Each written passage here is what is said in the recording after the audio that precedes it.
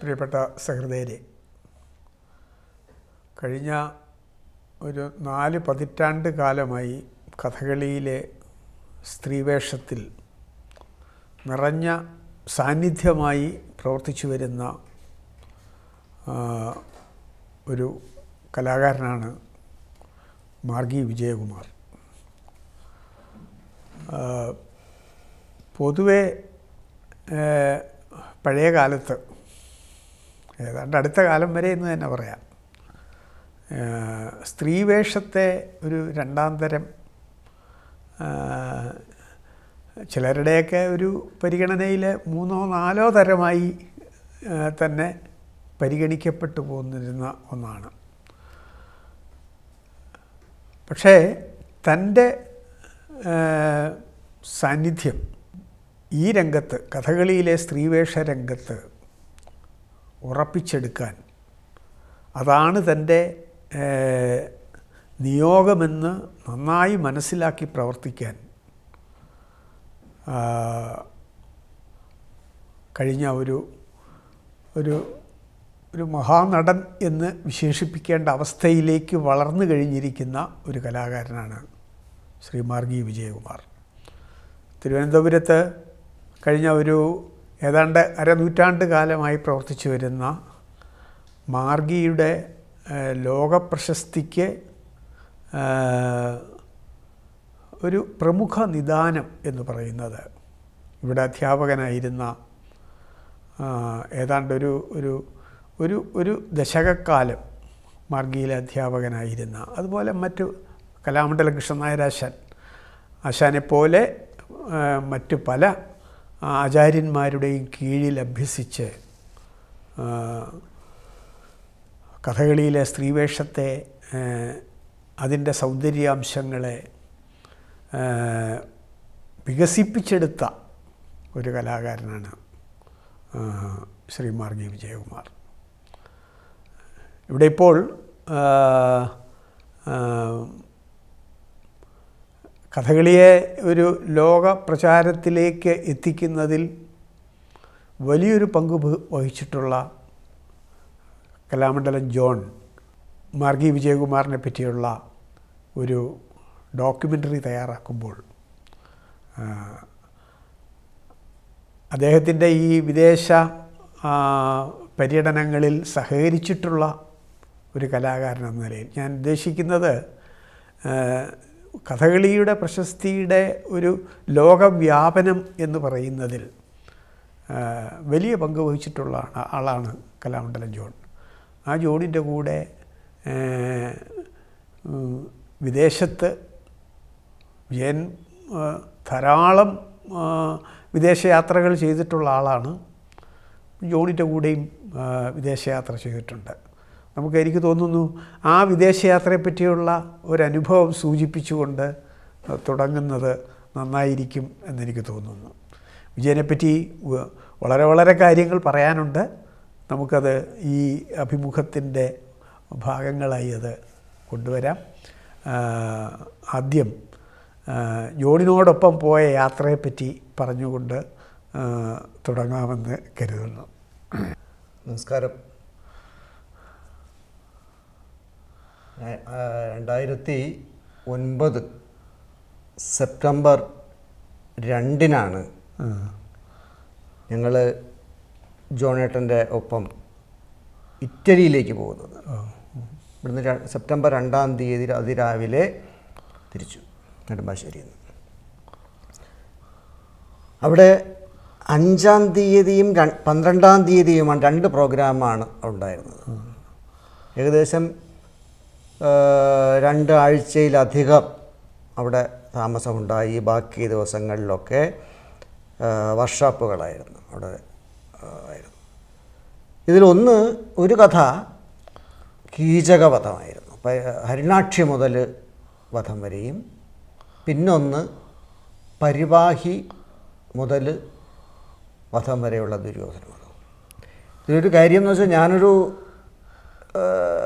എനിക്ക് വഴങ്ങിയിട്ടുള്ളതും ശ്രീവേഷമാണ് അതാണ് എന്റെ പരിചയവും. പക്ഷേ അവിടെ വർഷങ്ങൾക്ക് ശേഷം ഒരു തേച്ച വേഷം കെട്ടാനൊരു ഇട വന്നു. ശ്രീകൃഷ്ണൻ. ശ്രീകൃഷ്ണന്റെ വേഷം. ദുര്യോധനോധത്തിലെ ശ്രീകൃഷ്ണന്റെ വേഷവും ഒരു ദിവസം ഈ ജഗവത്തിലെ സൈരന്ത്രി അതെനിക്ക് വഴങ്ങുന്ന വേഷമാണ്. മറ്റത് എനിക്ക് അത്ര വഴക്കമുള്ള വേഷമല്ല. എങ്കിലും ഞാനത് ചെയ്തു. ഞാൻ രണ്ട് പ്രോഗ്രാമായിരുന്നു. അതൊരു അങ്ങനെ ഒരു ഒരു വ്യത്യസ്തമായ രണ്ട് വേഷങ്ങൾ ചെയ്യേണ്ടി വന്നു. വിജയന്റെ കൂടെ ഉണ്ടായിരുന്ന ആരൊക്കെയായിരുന്നു കലാകാരന്മാർ അതാണ് ഒരു അത് ഭയങ്കര അതാണ്. ജോണേട്ടന്റെ കൂടെ ഞങ്ങൾ ഇറ്റലിയിലേക്കാണ് പോയത്. ആ. സ്ഥലത്തിന്റെ പേര് പോർദനോനെ. പോർദനോന അങ്ങനെ എന്തോ പേരാണ് കേട്ടോ ആ സ്ഥലത്താണ്. ഒരു ഗ്രാമത്തിലെ ഒരു വീട്ടിലാണ് താമസം. പ്രോഗ്രാമായിട്ട് പോകുന്നു. അങ്ങനെ. ഞങ്ങൾ മൂന്ന് വേഷക്കാർ കൃഷ്ണൻകുട്ടി ആശാനുണ്ട് ജോണിയേട്ടനുണ്ട് ഞാനുണ്ട്.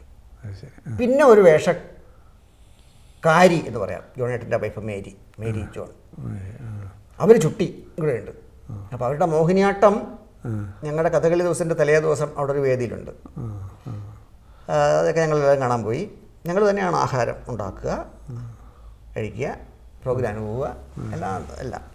അപ്പോൾ ഇതിൽ ഞങ്ങൾ മൂന്ന് വേഷക്കാർ പക്ഷെ കീചകോതം കളിച്ച ദിവസം കരുണാക്ഷി മുതലേ ഉള്ളൂ. സുദർശന വേണ്ട. സൈരന്ത്രി കീചകൻ വല്ലലൻ മറ്റത് പരിവാഹി മുതൽ എന്റെയാണ് കൃഷ്ണനുണ്ടായത് അപ്പം മേരി ജോ അവരാണ് ചുട്ടി കുത്തുന്നത്. ഞാൻ ഈ ശ്രീവേഷക്കാരനായതുകൊണ്ട് അങ്ങനെ ഒരുപാട് കിട്ടിയെന്ന് എന്റെ മുഖത്താരും കുത്തിയിട്ടുമില്ല അതിന് വേണ്ടിയും വന്നിട്ടില്ല പക്ഷെ ഒരു സ്ത്രീ ചുട്ടി കലാകാരിയാണ് അപ്പോൾ അവർ ഉണ്ട് അവർ പാഞ്ചാലിയും കൂടെ കഴിഞ്ഞിട്ട് പാഞ്ചാലി കെട്ടണം പാഞ്ചാലിയും കൂടെ കെട്ടണം അവർ ചുട്ടി കഴിഞ്ഞിട്ട് കൃഷ്ണൻകുടി എന്റെ ദുര്യോധനം കഴിഞ്ഞിട്ട് അതൊരു ഭീമൻ ഓ അത് ശരി അപ്പോൾ ദുശാസനൻ യോണേട്ടന്റെ അത് ശരി അപ്പോൾ ഇദ്ദേഹം എന്താണെന്ന് വെച്ച് കഴിഞ്ഞാൽ ദൂത് കഴിഞ്ഞാൽ അല്പനേരം ആടും യുദ്ധര യുദ്ധഭൂമി ഈ സമയം കൊണ്ട് കൃഷ്ണൻകുട്ടി ആശാൻ രൗദ്രഭൂമനായിട്ട് വരും. പാട്ടിന് ജയപ്രകാശും അജേഷും. ബാലസുന്ദരൻ ചണ്ട രാജനാരായണ മണ്ഡലം. ഇത്രയും നല്ല ടീമായി. നല്ല ടീമായിരുന്നു. ആയിരുന്നു. രണ്ട് കളിയേ ഉണ്ടായിരുന്നുള്ളൂ. അങ്ങനെ ഒരു പ്രശ്നം ഒരു നിരാശ ഉണ്ടായുള്ളൂ. രണ്ട് വേദി ഉണ്ടായിരുന്നുള്ളൂ. നല്ല തിരക്കായിരുന്നു. അങ്ങനെ പിന്നെ വർക്ക്ഷോപ്പുകളായിരുന്നു. കുട്ടികളെ പഠിപ്പിക്കുക. അങ്ങനെയുള്ള ഒരു നല്ല ഒരു അനുഭവമായി. ഇത്രയും പേരാണ് ഞങ്ങളന്ന് പോയത്. നല്ല ഒരു ചെന്ന് രണ്ടു രണ്ട് ദിവസം കഴിഞ്ഞപ്പോഴത്തേക്ക് അവിടെ ഒരു അവരുടെ തന്നെ ഒരു നാടകം കാണാനായിട്ട് തിയേറ്ററിൽ പോയി. അങ്ങനെ ഒന്ന്. പിന്നെ ഞങ്ങൾ ആഹാരം ഉണ്ടാക്കുക. അവിടെ കളി കാണാൻ വന്നവർക്ക് മുഴുവൻ ഒരു ദിവസം ഭക്ഷണം കൊടുക്കേണ്ട ചുമതല ഞങ്ങൾ ഏറ്റെടുത്തു. ശരി. അപ്പോൾ ഈ ഓണസദ്യ ഒരുക്കണ മാതിരി തന്നെ. ഏഹ് എല്ലാമൊക്കെ തയ്യാറാക്കി. തിയേറ്ററിലൊക്കെ അവർ കൊണ്ടുപോകും. ആ, ഇത് കൊണ്ട് കൊണ്ടുപോകുക നമ്മ കേരളീയ ഭക്ഷണം അവർക്കൊക്കെ കൊടുക്കുക. അങ്ങനെ ഒരു എല്ലാവരുമായിട്ട് വളരെ സന്തോഷകരമായ ഒരു യാത്ര അങ്ങനെ അനുഭവം ഉണ്ടായി. ഒരു തവണ പോയിട്ടുള്ളൂ. അങ്ങനെ ഒരു പ്രശ്നമേ ഉള്ളൂ. ഒരു തവണ പോകാൻ പറ്റിയിട്ടുള്ളൂ അങ്ങനെ ആ കൂട്ടത്തിൽ അന്ന് ഉണ്ടായ ഒരു അനുഭവം പറഞ്ഞാൽ ശ്രീന്റെ ശ്രീകൃഷ്ണന്റെ വേഷം കണ്ടിട്ട് ആരും വലിയ കാര്യമായിട്ടൊന്നും പറഞ്ഞൊന്നുമില്ല. അത് ഞാൻ ആൾക്കാരുടെ പക്ഷത്ത് തന്നെയാണ് ഞാനും. കാരണം ഇത് അങ്ങനെ പറയത്തക്കോണം ഇല്ലയെന്ന് എനിക്ക് തന്നെ ബോധ്യമുണ്ട്. ഏ? പക്ഷെ സ്ത്രീവേഷം കണ്ടിട്ട് പറഞ്ഞ ഒരു സ്ത്രീ പറഞ്ഞ കാര്യം എനിക്കിപ്പോഴും എന്റെ മനസ്സിലുണ്ട്. അതൊരു എന്താ പറയണ്ടേ? അതിനെ വളരെ ഗംഭീരമായിട്ടാണ് അവർ പറഞ്ഞത്. അത് അത് ഒരു അവിചാരിതമാണ്. അവർക്കത് മനസ്സിലാവും. തിയേറ്ററിൽ വർക്ക് അതെ, അവർക്കത് അവിചാരം എന്ന് വെച്ച് കഴിഞ്ഞാൽ ആ ഇംഗ്ലീഷ് വാക്ക് എന്താ എന്താ ഒരു ഇത് ഇങ്ങനെ ഒരു മാറ്റം ഒരു വ്യക്തി ഈ ഭക്ഷണിയിൽ കണ്ട. അതൊരു അവിചാരിതമായിട്ടൊരു എന്നുള്ള ഒരു നമുക്ക് സന്തോഷം ഉണ്ടാകുന്ന തരത്തിലുള്ള പുരുഷൻ സ്ത്രീയായി ആയി മാറുന്ന മാറുന്നതിന്റെ അതിന്റെ അങ്ങനെ ഒരു വാക്ക് പറഞ്ഞത് എനിക്ക് ഇപ്പോഴും അതൊരു വലിയ അനുഭവം ആ യാത്രയിലുണ്ടായ അത് ഒരു കാര്യം. നാട്ടിലെ നമ്മുടെ വലിയ മഹാനടന്മാർ കഥകളിയിലല്ല സിനിമയിലെയും മറ്റും മഹാനടന്മാർ വന്ന് വിജയന്റെ ഈ ഒരു വേഷത്തിന്റെ ഒരു ഒരു ഒരു പകർച്ച എന്ന് പറയുന്നതിനെ പറ്റി. അത് ശിവാജി പറഞ്ഞല്ലോ. അതെ. ശിവാജി ഗണേശൻ കണ്ടിട്ട് പറഞ്ഞ വേഷ സൗന്ദര്യത്തെക്കുറിച്ച് അത് പൊക്കി പറഞ്ഞു. അതെ അതെ. അത് ഏതോ ഒരു സിനിമയുടെ ഷൂട്ടിങ്ങിന് ഇവിടെ വന്നപ്പോൾ. ആ ഷൂട്ടിംഗ് ആ യാത്രാമൊഴി എന്ന് പറഞ്ഞ സിനിമയുടെ ഷൂട്ടിംഗ് കഴിഞ്ഞ് അപ്പോൾ ശിവാജി ഗണേശൻ ഇവിടെ ഒരു സ്വീകരണം കൊടുത്ത് ദൃശ്യവേദിയുടെ ആ ദൃശ്യവേദിയുടെ പ്രോഗ്രാം അറേഞ്ച് ചെയ്തത് ശ്രീനിവാസ് സാറാണ്. ദൃശ്യവേദിയുടെ കറോഫിൽ ശ്രീനിവാസ് സാറാണ് അറേഞ്ച് ചെയ്തത്. നെടുമുടി വേണു പറഞ്ഞിട്ടാണ് അറേഞ്ച് ചെയ്യുന്നത്. അന്ന് വർക്ക് ചെയ്ത സിനിമയിൽ വർക്ക് ചെയ്ത ആൾക്കാരൊക്കെ ഉണ്ടായിരുന്നു മോഹൻലാൽ ഉൾപ്പെടെയുള്ളവർ തിക്കുറിശി ഉണ്ടായിരുന്നു. തിക്കുറിശി വന്ന് എന്റെ കൈ പിടിച്ചു നോക്കുന്നതൊക്കെ ഉണ്ട്. ഇത് പുരുഷനാണോ? പുരുഷ. ഇത് സ്ത്രീയാണോ പുരുഷനാണോ എന്നറിയാൻ വേണ്ടിയിട്ടുള്ള ഒരു ഭാഗമായിട്ട്. അദ്ദേഹത്തിന്റെ ഒരു നർമ്മം അതെ അതെ അത് അതങ്ങനെ ഉണ്ടായി. അപ്പം അങ്ങനെ അത്തരം അനുഭവങ്ങൾ കഥകളിയിൽ സ്ത്രീവേഷം കെട്ടിയതിലൂടെ ഉണ്ടായിട്ടുണ്ട്. അതെ. അല്ല അതാണ് ഇപ്പം സാമാന്യ ജനങ്ങളുടെ ഇടയിലേക്ക് കഥകളിയെ എത്തിക്കുന്നതിൽ വിജയം ചെയ്ത ഏറ്റവും വലിയൊരു പങ്ക് അതാണ്. കഥകളിയിലെ സ്ത്രീവേഷത്തിന്റെ ഒരു ഒരു ലാവണ്യ സങ്കല്പങ്ങളിലെ വരുത്തിയ ഒരുപാട് മാറ്റങ്ങളുണ്ട്. നമുക്കതിലേക്ക് വരാം. എങ്ങനെയാണ് വിജയൻ ഒരു ഈ ഈ കഥകളി ലോകത്ത് എത്തിച്ചേർന്നത് എന്നുള്ളത് ഒരു നടനെ സംബന്ധിച്ചിടത്തോളം വളരെ പ്രധാനപ്പെട്ട ഒരു വിഷയമാണ്. അതൊന്ന് വിശദീകരിച്ചാൽ അത് എനിക്ക് ഇപ്പോഴും അത്ഭുതമാണ്. ഞാൻ എങ്ങനെ കഥകളി രംഗത്തേക്ക് വന്നു എന്നുള്ളത്. കാരണം എനിക്കൊരു പാരമ്പര്യമില്ല. വീട്ടിൽ കഥകളിയായിട്ട് ബന്ധമുള്ള ആരുമില്ല. ഇന്നും കഥകളി കാണാത്തവരും എന്റെ വേഷം കാണാത്തവരും എന്റെ കുടുംബത്തിലുണ്ട്.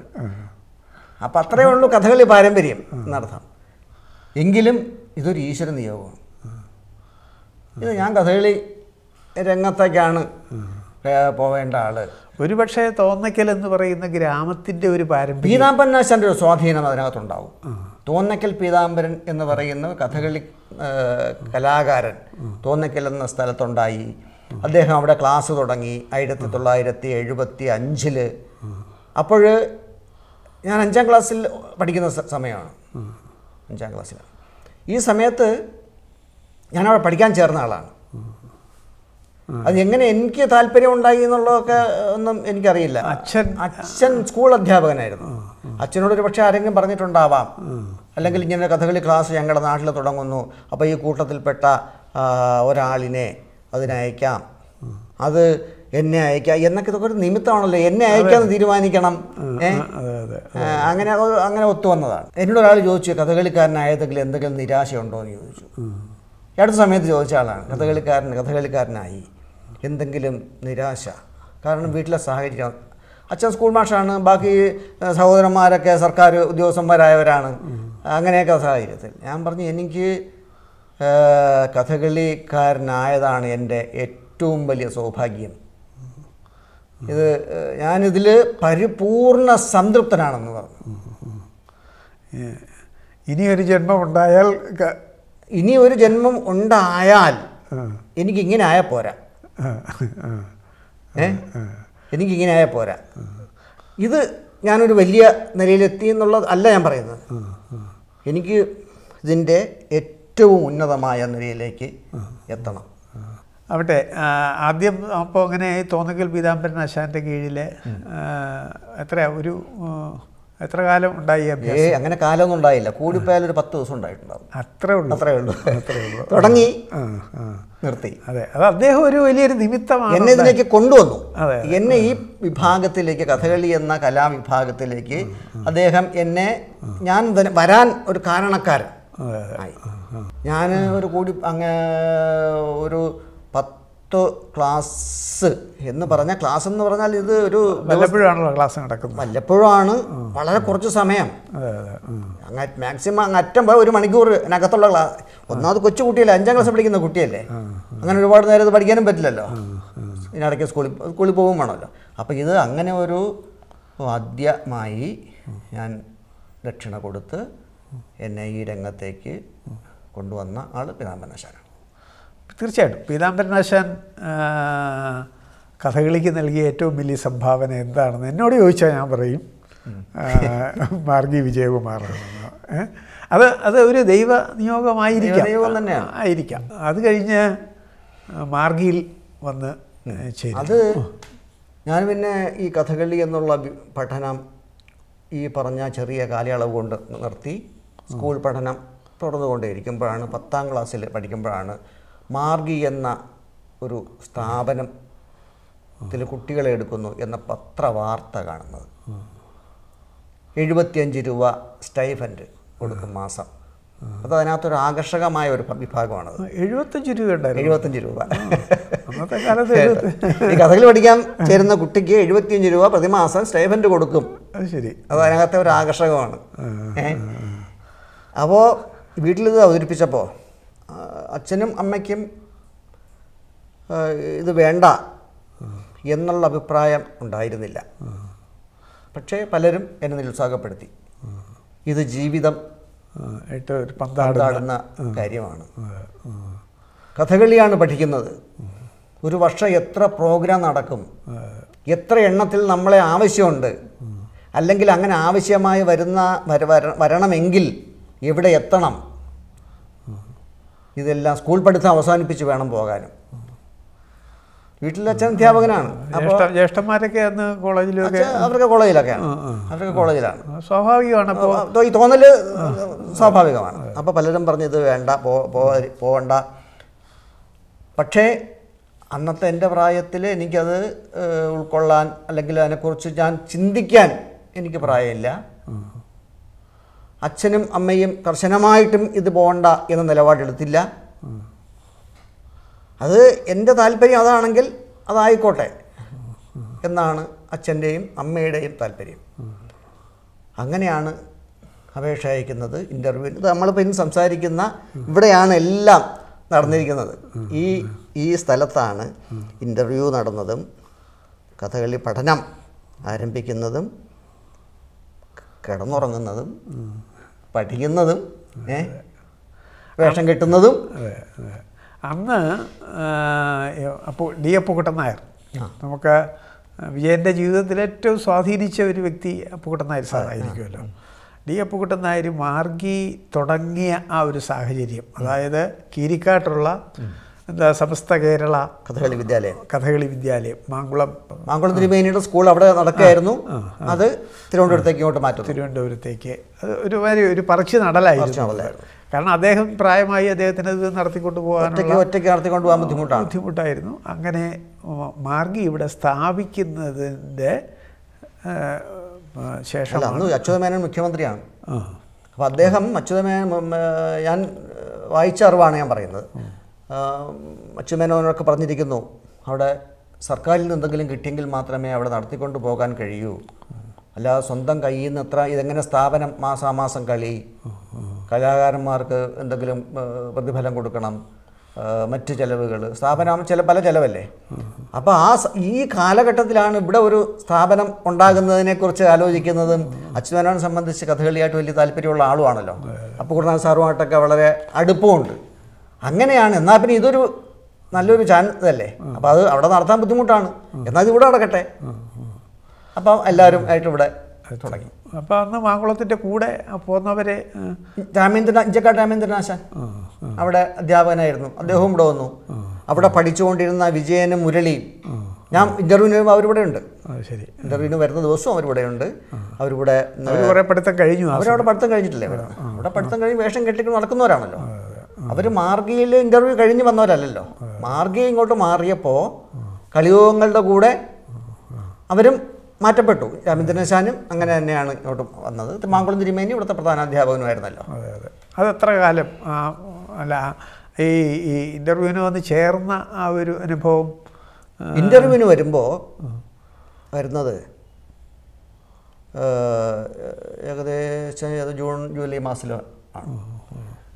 ഗുരു ഗോപിനാഥ് മാർഗീഡ കമ്മിറ്റി അംഗത്തിൽപ്പെട്ട ആളാണ് മാങ്കുളം തിരുമേനി അപ്പൂർണായൻ സാറ് പട്ടവരിപ്പാട് സാറ് രാമീർ സ്വാമി കെ രാമചന്ദ്രൻ സാർ പിന്നെ ടി ബാലകൃഷ്ണ മേനോൻ എന്ന് പറഞ്ഞിട്ട് വേറൊരാൾ അങ്ങനെ തിരുവനന്തപുരത്തെ പ്രമുഖരാണ്. ഇവരാരെയും എനിക്കറിയില്ല. എനിക്ക് ഇതിലിരിക്കുന്ന ആരും അറിയില്ല. ഇന്റർവ്യൂ പാടില്ലേ? ഉണ്ടോ എന്ന് എനിക്ക് അല്ല കൃത്യമായിട്ട് എനിക്കറിയില്ല എനിക്ക് ഇരിക്കുന്ന ആരും അറിയില്ല. എനിക്കന്ന് ഇപ്പോൾ ഞാൻ പത്താം എനിക്ക് പതിനഞ്ച് വയസ്സുള്ള സമയമല്ലേ? ഇവിടെ വന്നു. ഇന്റർവ്യൂവിന് ചെന്ന് അഞ്ച് പേര് വന്നിട്ടുണ്ട്. ഒരാളിനെ എടുക്കുള്ളൂ. ഒരാളിനെ ഉള്ളൂ. മറ്റൊരാളിനെ ഒറ്റൊരാളിനെ ഉള്ളൂ അപ്പോൾ ഇന്റർവ്യൂവിന് അറ്റൻഡ് ചെയ്തു. അപ്പോൾ കഥകളിയെ സംബന്ധിച്ച് ഞാൻ അവിടെ പഠിച്ചത് എന്താണെന്ന് എനിക്ക് അറിയില്ല. ഞാൻ എന്തൊക്കെ പഠിച്ചിട്ടുണ്ടെന്നോ എനിക്കറിയില്ല. ഏഹ് അഞ്ച് കൊല്ലം മുമ്പാണ്. കാര്യമായിട്ട് പഠിച്ചിട്ടുമില്ല. പഠിച്ചവരൊക്കെ വന്നിട്ടുമുണ്ട്. പഠിച്ചവരൊക്കെ വന്നിട്ടുണ്ടായിരുന്നു അത് ശരി. കുറച്ചൊക്കെ പഠിച്ചിട്ടുള്ളത്. പക്ഷേ നേരത്തെ പറഞ്ഞ ഈശ്വര നിയോഗം മൂർത്തി മൂവരാൽ മാറ്റാൻ സാധ്യമല്ലല്ലോ. ശിരോലിഖിത മൂർത്തി മൂവരാൽ മാറാൻ മാറ്റാൻ പറ്റില്ല എന്ന് പറഞ്ഞല്ലോ. അങ്ങനെ എന്നെ സെലക്ട് ചെയ്തു. അന്ന് ഈ ഒറ്റ വിദ്യാർത്ഥി വെച്ചാണ് ക്ലാസ് നടക്കുന്നത്? ഒറ്റ വിദ്യാർത്ഥി. അത് ശരി. ആരാ ആരാണ് പഠിപ്പിക്കുന്നത്? രാമേന്ദ്രനാശൻ. രാമേന്ദ്രനാശൻ. ഞാൻ പക്ഷെ ഞാനിവിടെ വന്ന് ചേരുമ്പോൾ മറ്റേ മുരളിയും വിജയനും ഉണ്ട്. ഓ ഓ. അവർ അവരുടെ ക്ലാസ് ഉണ്ട്. അവരുടെ അവരും പഠിപ്പിക്കുന്നു. അവർ അവർ പഠിച്ചുകൊണ്ടിരിക്കുകയാണ് പഠിച്ചുകൊണ്ടിരിക്കുക പഠിക്കാൻ പഠിക്കാൻ പഠിക്കാൻ വേറെ ആളില്ലല്ലോ. അതെ അതെ അതെ അതെ. പഠിക്കാൻ വേറെ ആളില്ല. അവർ പഠിച്ചുകൊണ്ടിരിക്കുകയാണ് മാങ്കുളം തിരുമേനി പഠിപ്പിച്ചിട്ടില്ലേ? മാങ്കുളം തിരുമേനി പഠിപ്പിച്ചിട്ടുണ്ട്. ഞാനിവിടെ ജനുവരി ആയി ഒന്നാം തീയതി വരുന്നു. എഴുപത്തഞ്ചിൽ അതെ എഴുപത്തഞ്ചിൽ ജനുവരി ഒന്നിന് വരുമ്പോൾ അന്നിവിടെ ഇവിടെ നിന്ന് കത്ത് ക്ഷണം പത്താം തീയതി വരണം എന്ന് അറിയിപ്പ് കിട്ടി വന്നതാണ്. പക്ഷെ അന്ന് ഇവിടെ വന്നപ്പം അടഞ്ഞു കിടക്കുന്നു. അത് ആരുമില്ല അത് പ്രോഗ്രാമിന് പോയതാണ്. അങ്ങനെ വൈകുന്നേരം വരെ ഇരുന്നിട്ട് വീട്ടിൽ പോയി. പിന്നെ ഇത് പിന്നെ ഇത് അത് വിവരം കൊടുത്തു. നീ ഫോണിലൊന്നും ഇല്ലല്ലോ. ഒക്കെ പിന്നീട് അടുത്ത തീയതി പറഞ്ഞു. അവിടെ ആ ദിവസം ഇവിടെ വന്നു. അപ്പോൾ ഈ ജനുവരി ഫെബ്രുവരി മാസങ്ങളെന്ന് പറഞ്ഞാൽ കഥകളിയുടെ ഏറ്റവും കൂടുതൽ പ്രോഗ്രാം നടക്കുന്ന സമയമാണല്ലോ. മാങ്കുളം തിരുമേനിക്ക് ദിവസവും പ്രോഗ്രാമാണ്. തിരുമേനി വന്നിട്ട് വേണം അത് തുടങ്ങാൻ. അങ്ങനെ ഒരു പതിനഞ്ച് ദിവസം ഇവിടെ വന്നിങ്ങനെ അദ്ദേഹത്തിന്റെ വരവ് പ്രതീക്ഷിച്ച് അങ്ങനെ താമസിച്ചു. പിന്നെയാണ് ഒരു ഫെബ്രുവരി പതിനഞ്ചാം തീയതി ആണ് പിന്നെ തുടങ്ങുന്നത്. അദ്ദേഹം വന്നു ഈ ഇവിടെ തന്നെ ഈ ഹാളിൽ തന്നെയാണ് ഇവിടെ തന്നെയാണ് തുടങ്ങിയത്. അദ്ദേഹത്തിന്റെ ക്ലാസ്സുകൾ അങ്ങനെ മാസത്തിൽ പത്ത് ദിവസമോ മറ്റോ അങ്ങനെ എന്തോ ആയിരുന്നു. അത് ശരി. അദ്ദേഹം വരുന്നത്. അദ്ദേഹം വരുന്ന ദിവസങ്ങളിൽ അദ്ദേഹത്തിന്റെ ക്ലാസ്സുകളുണ്ട്. അദ്ദേഹം തന്നെയാണ് ക്ലാസ് എടുക്കുന്നതും സഹായിക്കാൻ രാമേന്ദ്രനാശാനുമാണ്. ഞങ്ങളൊക്കെ പഠിക്കാനുമാണ്. അത് ശരി. അങ്ങനെ ഈ അരങ്ങേറ്റത്തിലേക്ക് എത്തുന്ന ഒരു എത്ര കാലം രണ്ടു കൊല്ലം. എഴുപത്തി അഞ്ചിൽ വന്ന് ചേർന്ന്. എഴുപത്തി ഏഴ് ജൂൺ ഇരുപത്തി അഞ്ചാം തീയതി തിരുവനന്തപുരത്ത് വിവേകാനന്ദ ഇൻസ്റ്റിറ്റ്യൂട്ട് നടക്കുന്ന ഹസൻ മരക്കർ ഹാൾ എന്ന് പറഞ്ഞിരുന്ന വിവേകാനന്ദ ഹാൾ. അവിടെയായിരുന്നു അരങ്ങേറ്റം. ഓ. അപ്പോൾ അന്ന് അതിനുശേഷം എന്നെ എടുത്തതിന് ശേഷം വേറൊരു കുട്ടിയും കൂടി എടുത്തു. ഒരു മാവേലിക്കരയുള്ള ഒരു നമ്പൂതിരി കുട്ടി എടുത്തു. അപ്പോൾ രണ്ട് ഞങ്ങൾ രണ്ടുപേരായി അപ്പോൾ നേരത്തെ ഉണ്ടായിരുന്ന രണ്ടുപേര് നിർത്തിപ്പോയി വിജയനും മുരളിയും. ഓ അത് ശരി. അതൊക്കെ അവർ കാരണം ഈ എഴുപത്തഞ്ച് രൂപ കൂടെ നിൽക്കേണ്ട സാഹചര്യം പറ്റാതെ വന്നപ്പോൾ അവർ നിർത്തിപ്പോയി. പിന്നെ ഞങ്ങൾ രണ്ടാളും മാത്രമായി. അങ്ങനെയാണ് പിന്നെയാണ് പിന്നെ അവർ തിരിച്ചു വന്നു. അങ്ങനെയൊക്കെ ഉണ്ടായി. അപ്പോൾ അരങ്ങേറ്റം. അരങ്ങേറ്റം. അരങ്ങേറ്റ രുക്മിണി സ്വയംവരമാണ് കഥ. മാങ്കുളം തിരുമേനയുടെ സുന്ദരബ്രാഹ്മണൻ ഓ. ഇഞ്ചക്കടാശാന്റെ ശിശുപാലൻ. എന്റെ കൂടെ എടുത്ത അയാ മറ്റേ നമ്പൂതിരി നാരായണ നമ്പൂതിരിയുടെ ശ്രീകൃഷ്ണൻ. അപ്പോൾ പിന്നെ എനിക്ക് പിന്നെ ആ രുക്മിണി സ്വയംവരം കഥയിൽ പ്രധാന വേഷം എന്ന് പറയുന്നത് രുക്മിണിയാണ്. രുക്മിണിയാണ് പിന്നെ ഉള്ളത്. അപ്പം അരങ്ങേറ്റക്കാരനല്ലേ എന്ന് പ്രധാന വേഷം വേണം. സ്ത്രീവേഷം അരങ്ങേറ്റം നടക്കാറുണ്ടെങ്കിലും ഇപ്പം കുടമാളൂരാശാന്റെയും ഒന്നും കൂട്ടിയാശാന്റെയൊക്കെ അരങ്ങേറ്റം സ്ത്രീവേഷമായിരുന്നു എങ്കിലും വളരെ കുറവാണ്. വേഷങ്ങളാണ് അരങ്ങേറ്റത്തിന് അധികം എടുക്കുന്നത്. സ്ത്രീവേഷം ഇല്ലായികയില്ല ഇതൊക്കെ ഉള്ളത് നമുക്ക് ഉദാഹരണത്തിലൊക്കെ ഉള്ളതുകൊണ്ട്. അപ്പോൾ രുക്മിണിയാക്കാം എന്നുള്ള തീരുമാനമാണ് മാങ്കുളം തിരുവേനി എടുത്തത്. അപ്പോൾ എന്നോട് പറഞ്ഞു നിന്റെ രുക്മിണിയാക്കാം. അപ്പോൾ അന്ന് ഞാൻ- പറഞ്ഞു എനിക്ക് ശ്രീവേഷം വേണ്ട എന്ന്. ശ്രീവേഷം വേണ്ട എന്ന്. അപ്പോൾ ഞാൻ വിചാരിച്ചത് അങ്ങനെ ശ്രീവേഷം കെട്ടുന്നത് എന്റെ മനസ്സിൽ തോന്നിയ കാര്യമാണ് ആ ചെറിയ പ്രായത്തിൽ അതൊരു മോശമല്ലേ എന്നുള്ളതാണ് എനിക്ക് തോന്നിയത്. നമ്മൾ പുരുഷവേഷം കെട്ടണ്ടേ? നമ്മൾ ആണുങ്ങളല്ലേ? അങ്ങനെ തോന്നിയത് കൊണ്ട് സ്ത്രീവേഷം വേണ്ടെന്ന് ഞാൻ അഭിപ്രായം പറഞ്ഞു. ആ എന്നാൽ പിന്നെ സ്ത്രീവേഷം വേണ്ട. അങ്ങനെയാണെങ്കിൽ പിന്നെ സ്ത്രീവേഷം വേണ്ട. പുരുഷവേഷം രുക്മിയാക്കാം ഒരു രംഗത്തേക്കുണ്ടല്ലോ. ഇത് സമ്പൂർണം കളിക്കുന്നുണ്ട്. അപ്പം ഈ ആദ്യത്തെ ഒരു ഭാഗം കഴിഞ്ഞാൽ പിന്നെ അവസാനം ഒരു ഭാഗം കൂടിയുണ്ട് ഈ കൃഷ്ണനായിട്ടുള്ള യുദ്ധരംഗം കൂടിയുണ്ട്. സമ്പൂർണമായിട്ട് അവതരിപ്പിച്ച് അവിടെ വിവേകാനന്ദ ഹാളിൽ അങ്ങനെ രുക്മിയായിരുന്നു അരങ്ങേറ്റം നടത്തിയത്. ശരി. അരങ്ങേറ്റം നടത്തി സ്റ്റേജിലേക്ക് വന്നു അല്പം കളിച്ചു അവിടെ വീണു. ഏ? ഇല്ലാതെ ബോധമില്ലാതെ അവിടെ വീണു. അതെന്ത് പറ്റിയതാ? അത് പറ്റാൻ ഒന്ന് അത് ആ പദം കുറച്ച് കാലം കയറിയ പദമാണ്. കുറച്ച് ദേഷ്യപ്പെട്ടുള്ള പദമാണ്. അതെ അതെ. അത് ഓവർ സ്ട്രെയിൻ ഒന്നാമത് വേഷം കെട്ട് വേഷത്തിന്റെ സ്വാ സ്വാധീനമില്ലല്ലോ. സ്വാധീനം ഉണ്ടാവാം മനയോലയുടെ ഗന്ധം ശ്വസിച്ച് കയറ്റുന്നത് ആവാം ഓവർ സ്ട്രെയിൻ എടുത്തതാവാം. കേശവാരം കിരീടത്തിന്റെതാവാം. താങ്ങാൻ പറ്റുന്നതിൽ കൂടുതൽ സ്ട്രെയിൻ അതിലേക്ക് കൊടുത്തതാവാം. ഒരു ആവേശം എന്ന് പറയുന്നത് ആദ്യം കിട്ടുന്ന ഒരു ആവേശം ഉണ്ടല്ലോ. ആ ആവേശം കൊണ്ട് വന്നതാവാം. ഏ? എന്തായാലും മുഴിപ്പിച്ചില്ല. അത് ശരി. അപ്പോൾ അതിൽ നിന്ന് വിചാരിക്കേണ്ടത് ഞാൻ സ്ത്രീ പുരുഷവേഷം കെട്ടേണ്ടവനല്ല. പിന്നെ സ്ത്രീവേഷത്തിലേക്ക് ഉള്ള ഒരു വരവ് എങ്ങനെ സ്ത്രീവേഷം അത് അതൊരു അതും അപ്പം അങ്ങനെ പിന്നെ സ്ത്രീവേഷം കെട്ടി ഇവിടെ എല്ലാ മാസവും കളിയുണ്ട്. ഇവിടെയാണ് കളി. ഇതാണ് അരങ്ങ്. മംഗളം തിരുവേനയുണ്ട് ഉത്തരാ വരം പിന്നെ നിശ്ചയിച്ചു. അതിനകത്ത് ഭാനുമതി കെട്ടി. കെട്ടിയെന്നേ ഉള്ളൂ. നമ്മൾ അത്രേ പറ്റുള്ളൂല്ലോ ആ പ്രായത്തിൽ അത്രേ നമ്മൾ പഠിച്ചിട്ടുള്ളൂ. അത്രേ നമ്മൾ ചെയ്യാൻ പറ്റുള്ളൂ. കെട്ടുന്നു. ആരെങ്കിലും തേച്ച് തരണം. ആരെങ്കിലും എനിക്ക് തരണം. ആരെങ്കിലും കെട്ടി തരണം. അങ്ങനെയൊക്കെയാണല്ലോ. ഇങ്ങനെയാണല്ലോ ഇത് വളർന്ന് വളർന്ന് വരുന്നത്. അത് കെട്ടി. പിന്നെ മാങ്കുളം തിരുമേനിയുടെ കൂടെ അംബരീഷ ചരിതത്തിലെ അംബരീഷ് രണ്ട് പത്നിമാർ. അങ്ങനെയാണല്ലോ. ആ. രംഗം അങ്ങനെയാണ്. അതിലൊന്ന് കെട്ടി. അപ്പോൾ അദ്ദേഹത്തിന് ഇഷ്ടപ്പെട്ടു. അദ്ദേഹം പറഞ്ഞു നിന്റെ നിന്റെ സ്ത്രീവേഷം തിരക്കേടില്ല. തേച്ച വേഷത്തിനെ സംബന്ധിച്ച് അദ്ദേഹത്തിന് വല്ല തൃപ്തികരമായിരുന്നുമില്ല. കാരണം എന്റെ വേഷം അങ്ങനത്തതായിരുന്നു. ഞാൻ തേ വേഷം കെട്ടി തേച്ച വേഷം കെട്ടി വന്നാലുള്ള ഒന്നാമത് വളരെ വളരെ മെലിഞ്ഞ ശരീരം. ആയിരുന്നു. അതിനൊരു ഭംഗിയുള്ള അതുകൊണ്ടാണല്ലോ ശ്രീകൃഷ്ണന്റെ വേഷം എന്റെ വയ്ക്കാതെ മറ്റേ ആൾ വെച്ചതും അതുകൊണ്ടാണല്ലോ. അതെ അതെ. അദ്ദേഹം ഗുരുക്കന്മാർക്ക് അറിയാമല്ലോ ഇത് ആരാണ് ഇതിൽ കെട്ടിയാൽ നന്നാവുന്നത് ശ്രീകൃഷ്ണൻ വേഷം കെട്ടിയാൽ ആരാണ് നന്നാവുന്നത് എന്നാൽ ഗുരുക്കന്മാർക്ക് അറിയാമല്ലോ എന്റെ അപ്പോൾ ശരിക്കും അന്നൊരു ഒരു ഞരന്ത് പയ്യനാണ്. ആയിരുന്നു ആയിരുന്നു ആയിരുന്നു. അത് ഇത്തിരി വണ്ണം വെക്കാൻ വേണ്ടി ഞാൻ പല പല പ്രയോഗിച്ചു നോക്കിയിട്ടുണ്ട് ഈ അതൊക്കെ വേറെ കഥയാണ് കേട്ടോ. അതൊക്കെ വേറെ കഥയാണ്. അത്. അപ്പോൾ അങ്ങനെ മാങ്കുളം തിരുമേൻ വന്നത് തിരക്കേടില്ല പിന്നെ അദ്ദേഹത്തിന്റെ കൂടെ ദക്ഷപത്നി ഒക്കെ വരുമ്പോൾ എന്റെ രക്ഷ മതി എന്ന് പറയുന്ന സംഭവം ഉണ്ടായിട്ടുണ്ട്. ഇപ്പോൾ പത്മനാഭസ്വാമി ക്ഷേത്രത്തിലെ കളി അദ്ദേഹത്തിന്റെ ചുമതലയിലാണ്. അപ്പോൾ അദ്ദേഹത്തിന് ദക്ഷം വന്നപ്പോൾ ദക്ഷപത്നി നിന്റെ മതി. വേദവല്ലി. വേദവല്ലി. അപ്പം അത് അതെന്നെ ശ്രീവേഷത്തിലേക്ക് അദ്ദേഹത്തിന്റെ വാക്കുകൾ എന്നെ ശ്രീവേഷത്തിലേക്ക് ഉള്ള പ്രവേശന കവാടമായിരുന്നു. അതെ അതെ. അപ്പം അത് അതാണ് എന്നെ ശ്രീവേഷത്തിലേക്ക് അദ്ദേഹത്തിന്റെ ആ നല്ല വാക്കുകളാണ് എന്നെ ശ്രീവേഷത്തിന്റെ വഴിയിലേക്ക് കൊണ്ടുവന്നത്. പിന്നെ അഞ്ച് കൊല്ലം കഴിയുമ്പോൾ കൃഷ്ണാരശം വന്നു. അതെ അതെ അതെ. അത് ഏത് വർഷമാണ് എൺപതിൽ എൺപതിൽ എഴുപത്തൊമ്പതൊക്കെ ആയപ്പോഴത്തെ മാങ്കുളം തിരുമേനി ഇവിടുന്ന് മാറി. ആ അതിനുശേഷം കൃഷ്ണാരശം വന്നു. അതെ അതെ. കൃഷ്ണനാരാശാൻ നാരാശാൻ മാർഗിയിലേക്ക് വരാൻ ഇടയായ ആ, ഒരു സാഹചര്യം. അതൊന്നും പറയാമല്ലോ അല്ലേ? എന്താ അപ്പോൾ എം എഴുപത്തൊൻപതായപ്പം മാങ്കുളം തിരുമേനി ഇവിടെ നിന്ന് വിട്ടു. അത് കഴിഞ്ഞ് ഇവിടെ ഒരു പ്രധാന അതേമാതിരി അല്ലെങ്കിൽ അതിന് മുകളിലോ അല്ലെങ്കിൽ അതിന് തത്തുല്യമായോ ഒരു അധ്യാപകൻ വേണം മാർഗിയുടെ മേന്മയ്ക്ക്. അപ്പോൾ പൂർണ സാറും ആ, ഭട്ടതിരിപ്പാട് സാറും അങ്ങനെ മാർഗിയുടെ കൊച്ചനിയൻ സാറ് കൊച്ചനിയൻ കൊച്ചനിയ സാറുണ്ടായിരുന്നു ആ, ഉണ്ടായിരുന്നു. പേരൂർക്കട അമ്പലത്തിൽ കളി. നാളെ രണ്ടാം ദിവസം. മാർഗേറ്റ് സംഘമാണ്. കൃഷ്ണാരശാനുണ്ട് ദമയന്തിയാരാണെന്ന് ഞാനിപ്പോൾ കൃത്യമായിട്ട് ചെറക്കര ആശാനാണോ എന്ന് എനിക്കിപ്പോൾ ഓർമ്മയില്ല. എന്റെ വേറെ ഏതോ രണ്ടാമത്തെ കഥയിൽ ഏതോ വേഷമാണ്. കൃഷ്ണാരശാനുണ്ട് സാറിന്റെ കുവലയ വിലോചന രംഗം ഇവരെല്ലാം മുമ്പിരുന്ന് കണ്ടു.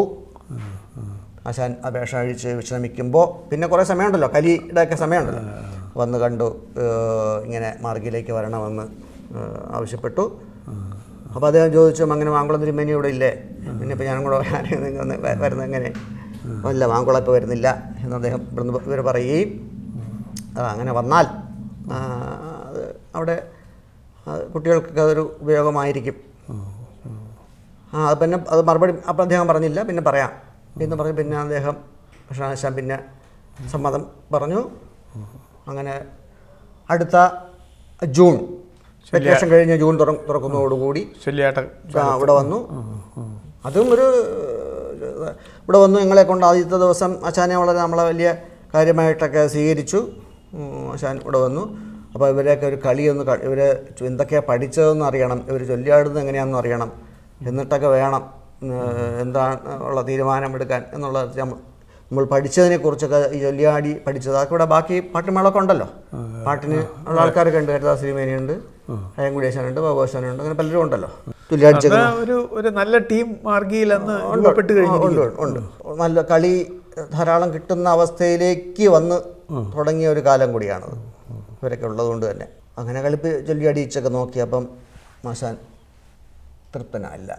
അതുവരെ പഠിച്ച ശൈലി വേറെ അല്ലേ അതെ അതെ. തെക്കൻ മംഗളം തിരുമേനി പഠിപ്പിച്ചത് രാമദശം പഠിപ്പിക്കുന്നത് ഒരേ ശൈലിയിലുള്ളതാണല്ലോ.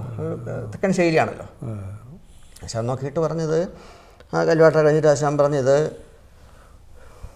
ഒരുപാട് മാറ്റം വരുത്തണം. അങ്ങനെ മാറ്റം വരുത്താൻ തയ്യാറുണ്ടെങ്കിൽ മാത്രമേ ഞാൻ വന്നിട്ട് കാര്യമുള്ളൂ. ഇപ്പം അല്ലാതെ ഇപ്പം ഞാൻ വന്നിട്ട് കാര്യമില്ല. അത് ഇവർ അവരാണ് തയ്യാറാവേണ്ടത്. അത് അങ്ങനെയാണെങ്കിൽ വരാം. അങ്ങനെ എപ്പോഴും സാറൊക്കെ വന്നിട്ടുണ്ടായിരുന്നു. അപ്പം ഞാൻ എനിക്ക് ഞാൻ തയ്യാറായ ആളാണ്. എന്നെപ്പോലെ തയ്യാറായവരല്ല മറ്റവർ അത് ശരി. ആ. ഞാൻ തയ്യാറായ ആളാണ് കൊടുത്തിപ്പെട്ട ആളാണ് എനിക്ക് ഇത് എന്ത് ശൈലി തെക്കനാണോ വടക്കനാണോ എന്നുള്ള ശൈലിയേക്കാൾ എന്റെ മോഹം നല്ലൊരു കഥകളി വേഷക്കാരനാവണം. ഏത് ശൈലിയായാലും.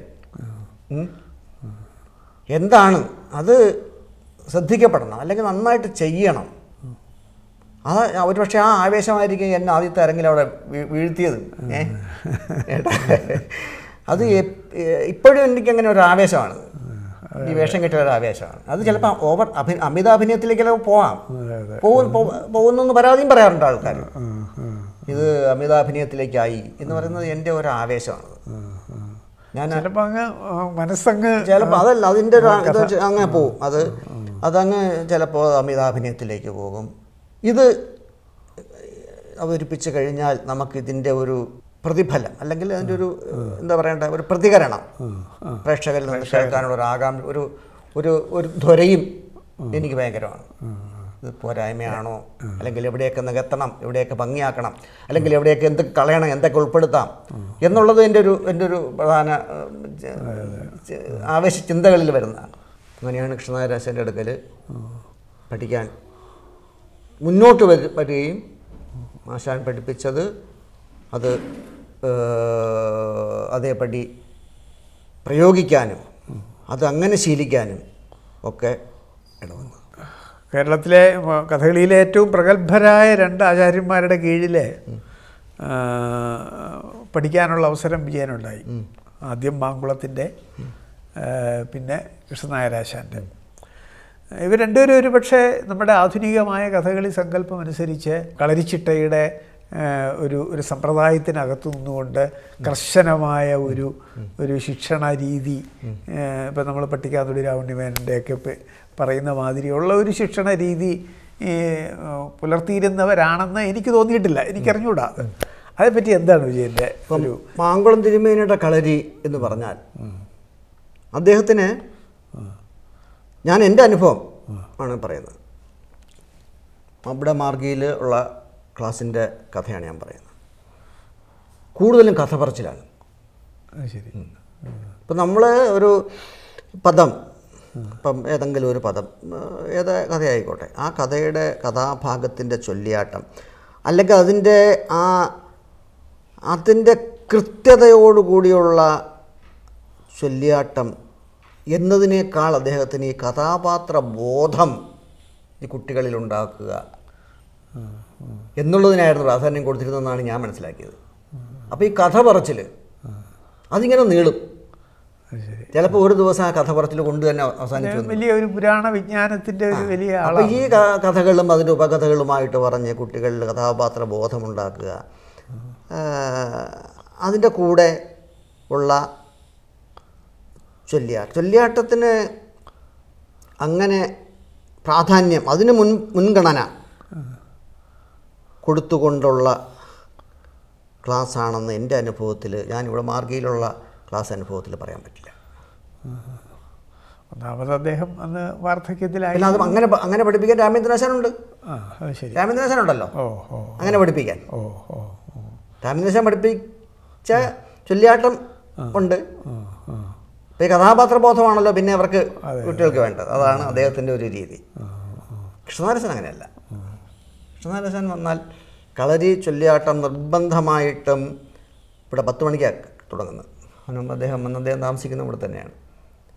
കുളിയും ജപവും കാപ്പുകൂടിയൊക്കെ കഴിഞ്ഞാൽ കൃത്യമായ പത്ത് മണിയാകുമ്പോൾ ചൊല്ലിയാട്ടം അത് ഏത് ഭാഗമാണ് നമുക്ക് വേണ്ടത് ഇന്നതാണ് എന്ന് പറഞ്ഞാൽ അതായിരിക്കും. ആശാൻ സെലക്ട് ചെയ്യുന്നതിനേക്കാൾ ചിലപ്പോൾ അങ്ങനെ അല്ലാതെ നമുക്ക് പിന്നത് ഇന്നത് പഠിക്കണം എന്നങ്ങോട്ട് ആവശ്യപ്പെട്ടാൽ അതാണ് അദ്ദേഹത്തിന് സന്തോഷം കൂടുതൽ. കാരണം ഒരാ ഒരു വിദ്യാർത്ഥി ആവശ്യക്കാരനാകുമ്പോൾ ആവശ്യക്കാരനാകുമ്പോൾ അയാളെ പഠിപ്പിക്കാൻ കൂടുതൽ താല്പര്യം ഉണ്ടാവും ആവശ്യമില്ലാത്തവനെ പഠിപ്പിക്കുന്നതിനേക്കാൾ താല്പര്യം ആവശ്യമുള്ളവനെ പഠിപ്പിക്കാനുണ്ടാവുമല്ലോ.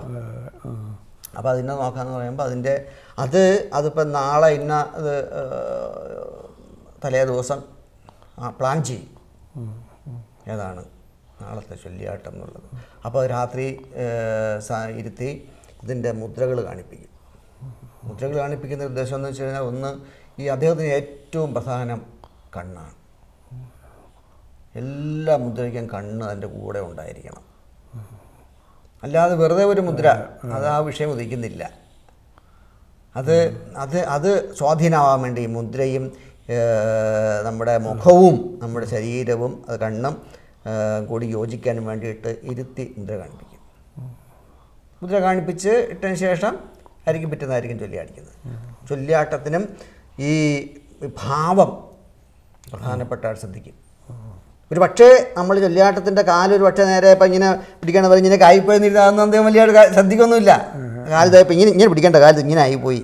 എന്നൊന്നും വലിയ ശ്രദ്ധ കൊടുക്കുക പക്ഷേ എപ്പോഴും ഈ മുഖം വളരെ കർശനമായിട്ട് നോക്കുകയും കണ്ണിന് കണ്ണിന് സദാസമയവും ജീവൻ വേണം എന്നുള്ള തരത്തിൽ പ്രാക്ടീസ് ചെയ്യിക്കും. ഇപ്പോൾ നമ്മളിപ്പോൾ ഒരു വേഷത്തെ അവതരിപ്പിക്കുമ്പോൾ ഈ പറഞ്ഞ കണ്ണിന് സദാസമയവും ആ ജീവൻ കൊടുത്തുകൊണ്ട് ചെയ്താൽ ചെയ്യുമ്പോൾ അത് ഒരു ഒരുപക്ഷെ അരങ്ങത്ത് അത് അത്രയും വേണ്ടി വരില്ല.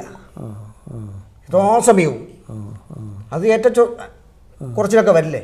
പക്ഷെ ഈ കളരിയിൽ അത് പഠിക്കുമ്പോൾ അത് മാക്സിമം വായു കൊടുത്ത് തന്നെ കണ്ണിന്റെ ശക്തി കൊടുത്ത് തന്നെ അത് ചെയ്യുമ്പോൾ പിന്നെ ശരീരത്തിന്റെ ഒരു ചലനം ഉണ്ടല്ലോ. അദ്ദേഹം വളരെ ഈ അദ്ദേഹത്തിന്റെ ശരീരം എന്ന് വെച്ചാൽ വളരെ ഫ്ലെക്സിബിളാണ് അത് എങ്ങനെ എങ്ങോട്ട് പോകണോ അത് ഏ, അത് അത് നോക്കി നിന്നാൽ തന്നെ നമ്മൾ കുറേ പഠിക്കും. അതാ മുദ്ര കാണിക്കുന്ന വിധം നല്ലാർകുലം. ഉദാഹരണം പറയുന്ന ഭാഗം നല്ലാർകുലം അണിയും മൗലിമാൽ എന്നുള്ള പദത്തിന്റെ മുദ്ര കാണിക്കുന്നത് അതിന്റെ ശരീരത്തിന്റെ ആ ആ അതിന്റെ ആ ഒഴുക്കും അതിന്റെ വഴക്കും ഒക്കെ കാണുമ്പോൾ തന്നെ നമ്മൾ തന്നെ അത് നോക്കി നിൽക്കും. അപ്പോൾ അതിൽ തന്നെ നമുക്ക് കുറേ നോക്കി തന്നെ കുറേ പഠിക്കാം. അങ്ങനെയുള്ള ക്ലാസ്സുകളായിരുന്നു ആ സമയത്തുണ്ടായത്. അല്ല ഈ അശാം പ്രധാനമായിട്ട് പഠിപ്പിച്ചത് ലളിതമാരും. എന്നെ ഞാൻ ശ്രീവേഷക്കാരൻ ആവശ്യക്കാർ ശ്രീവേഷത്തിന്റെ ആവശ്യക്കാരനായതുകൊണ്ട് ഇതെല്ലാം ഞാൻ ആവശ്യപ്പെട്ടിട്ട് ആണ് എന്നെ പഠിപ്പിച്ചത്. ഇവിടെ വന്നപ്പോൾ ആദ്യം പഠിപ്പിക്കുന്ന ഉർവശി പഠിപ്പിച്ചത്.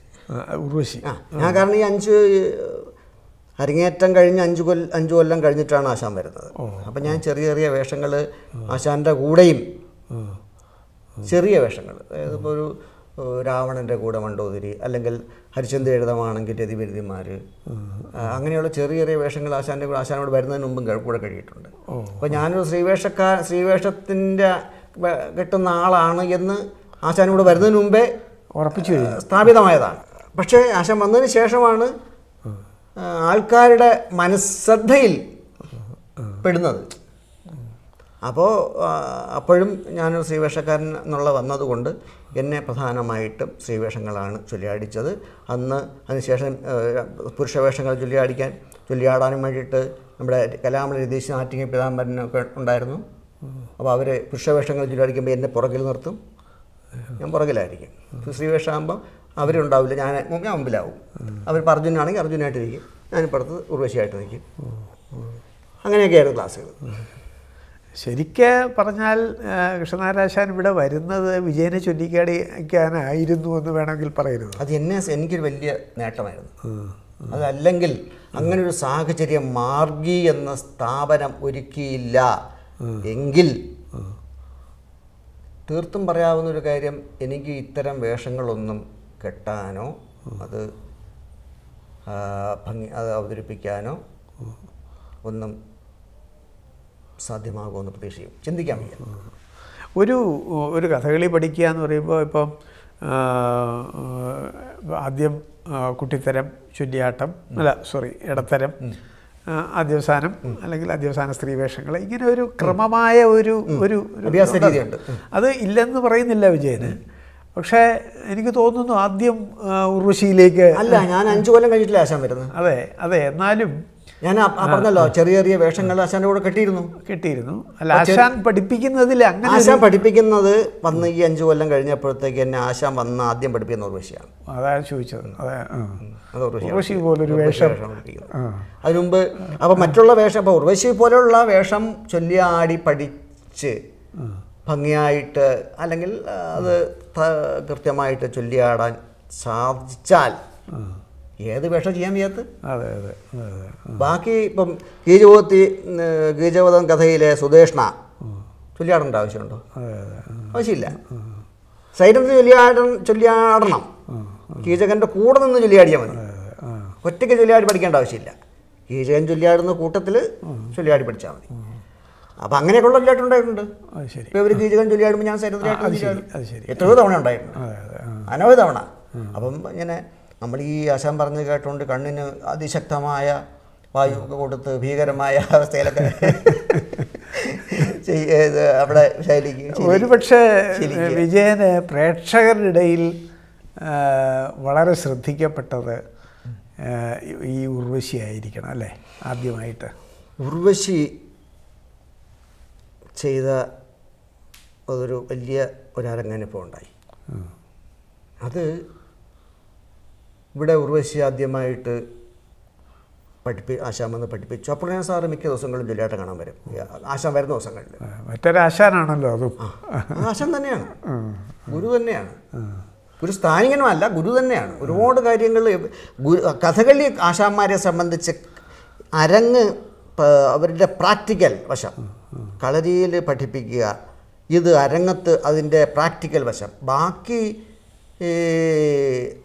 ഈ നേരത്തെ പറഞ്ഞ കഥാപാത്ര ബോധം അല്ലെങ്കിൽ അതിൽ നമുക്ക് കളിയിൽ നിന്ന് കിട്ടുന്നതല്ല.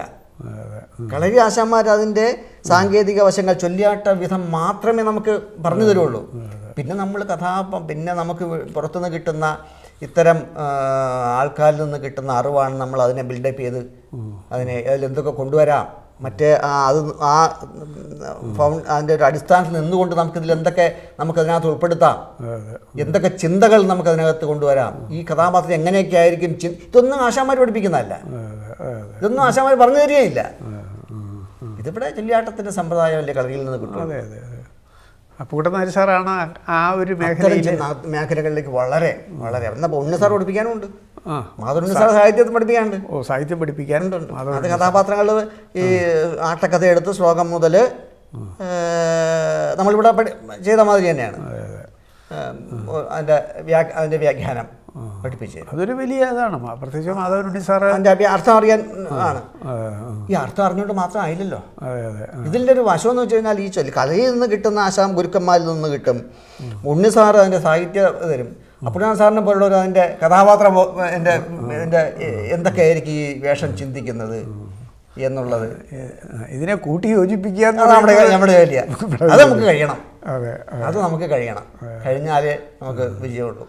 ഇതൊക്കെ അന്ന് അവിടെ അന്ന് ഇവിടെ കിട്ടി എന്നുള്ളത് ഒരു വലിയ വലിയ സൗഭാഗ്യമാണ്. അല്ല ഞാൻ ചോദിച്ചത് ഈ പ്രേക്ഷകരുടെ ഇടയിൽ ഒരു പക്ഷേ ഒരു വെച്ചാൽ ഒരു ഗ്രഹീതക്കാരായ ഒരു പ്രേക്ഷക സമൂഹത്തിൽ വിജയം ശ്രദ്ധിക്കപ്പെട്ടത്. ഉർവശി. അപ്പം അപ്പോൾ അത് ഇവിടെ ആദ്യമായിട്ട് ഉർവശി ചൊല്ലി അടിച്ചു പ്രണയ സാർ കാണാൻ വന്നു. ആശാൻ കൃഷ്ണദാശൻ തന്നെ പറഞ്ഞു. അതെ ഇപ്പോൾ കള ഇവിടെ പഠിച്ചു പോകേണ്ട കാര്യമില്ല അത് വേഷം കൂടെ കെട്ടിക്കണം എന്ന് പറഞ്ഞു. അപ്പോൾ പറഞ്ഞു പിന്നെ അടുത്ത മാസം ആവാമല്ലോ എന്ന് പറഞ്ഞു. അയാൾ ആയിട്ടും തയ്യാറായിട്ടുണ്ടെങ്കിൽ അടുത്ത മാസം ആവാമല്ലോ എന്ന് പറഞ്ഞു. അപ്പം അടുത്ത മാസം ഫോർട്ട് ഹെച്ച് സ്കൂളാണ് അതിന്റെ ഒരു വേദി തിരഞ്ഞെടുത്തത്. കൃഷ്ണാനശാൻ വേഷം കെട്ടുന്നുണ്ട്. അപ്പം ആശാനൊപ്പം രണ്ട് ഉർവശി അടുക്കൽ സ്വതേ ആദ്യസ്ഥാന അർജുനന്മാർ വേഷ വേഷക്കാർ ആ ഭാഗത്ത് അർജുൻ പോകേണ്ട കാര്യമില്ലല്ലോ അതെ. ആദ്യത്തെ ഭാഗത്താണല്ലോ ആശാൻ പറഞ്ഞത് അർജുനൻ ഞാൻ ആയിക്കോളാം പറഞ്ഞു. ഓ. അപ്പോൾ പറഞ്ഞു എന്നാൽ പിന്നെ വലിയ കാര്യം ദക്ഷിണാരി വേണോ എന്നൊക്കെ ചോദിച്ചു ഇവിടെ ആരെങ്കിലും ഇവിടെയൊക്കെ രതീശനും അഭ്യതാപനൊക്കെ ഉണ്ടല്ലോ ആരെങ്കിലും പോരെയെന്ന് പറഞ്ഞു അല്ല ഞാൻ ആ, ഞാനിപ്പം ഇത് കാണണമെങ്കിൽ ഞാൻ വേഷം അല്ലെങ്കിൽ ഞാൻ ഇവിടെ സ്ഥലം ഞാൻ ഇവിടെ തന്നെ ഉണ്ടാവുന്നില്ല എന്ന് പറഞ്ഞേ എനിക്ക് ആ അവിടെ പോയിരുന്നു കണ്ടുകൊണ്ടിരിക്കാമല്ലോ അത് അർജുനെ കേട്ടും കേട്ട് അർജുനൊക്കെ വേഷം കിട്ടി അവിടെ ഇരുന്നു കാണാൻ നല്ലൊരു കാരണം ആശാ ആശാൻ പങ്കെടുക്കുന്ന കളി ആയതുകൊണ്ടാണ് ഇവിടുത്തെ സ്ഥല സൗകര്യം പോരാ എന്നുള്ളത് കൊണ്ട് കുറച്ച് സ്കൂളിലേക്ക് മാറ്റിയത്. കൂടുതൽ ആൾക്കാർ വരും എന്നുള്ള ഒരു ഉള്ളതുണ്ട്. അപ്പം അല്ലെങ്കിൽ ഇതിനകത്താണ് കളി അല്ലെങ്കിൽ അതിനകത്താണ്. അന്ന് ഇവിടെ ഇത്രയും ഒന്നും ആയിട്ടില്ല വെളിയിലത്തെ സ്റ്റേജ്. അവിടെയാണ്. അപ്പോൾ അവർ എല്ലാവരും ചിനിയ സാർ ഉൾപ്പെടെ അത് നല്ല ഇത് പറഞ്ഞു. അവർ എന്നേക്കാൾ കൂടുതൽ സംതൃപ്തനായത് ആശാൻ തന്നെയാണ്. പക്ഷേ ആശാന്റെ ശ്രമം. അവർ എന്നെ ഈ ഇവർ എന്നോട് പറയുന്നതൊക്കെ കൂടുതൽ ആശാനോടാണ് പറഞ്ഞത്. അങ്ങനെ ഒരു അത് സാർ ഇതിനെ അത് പിന്നെ വേറെ ഇറങ്ങാം അത് ഇവിടെ ഉണ്ടായത്.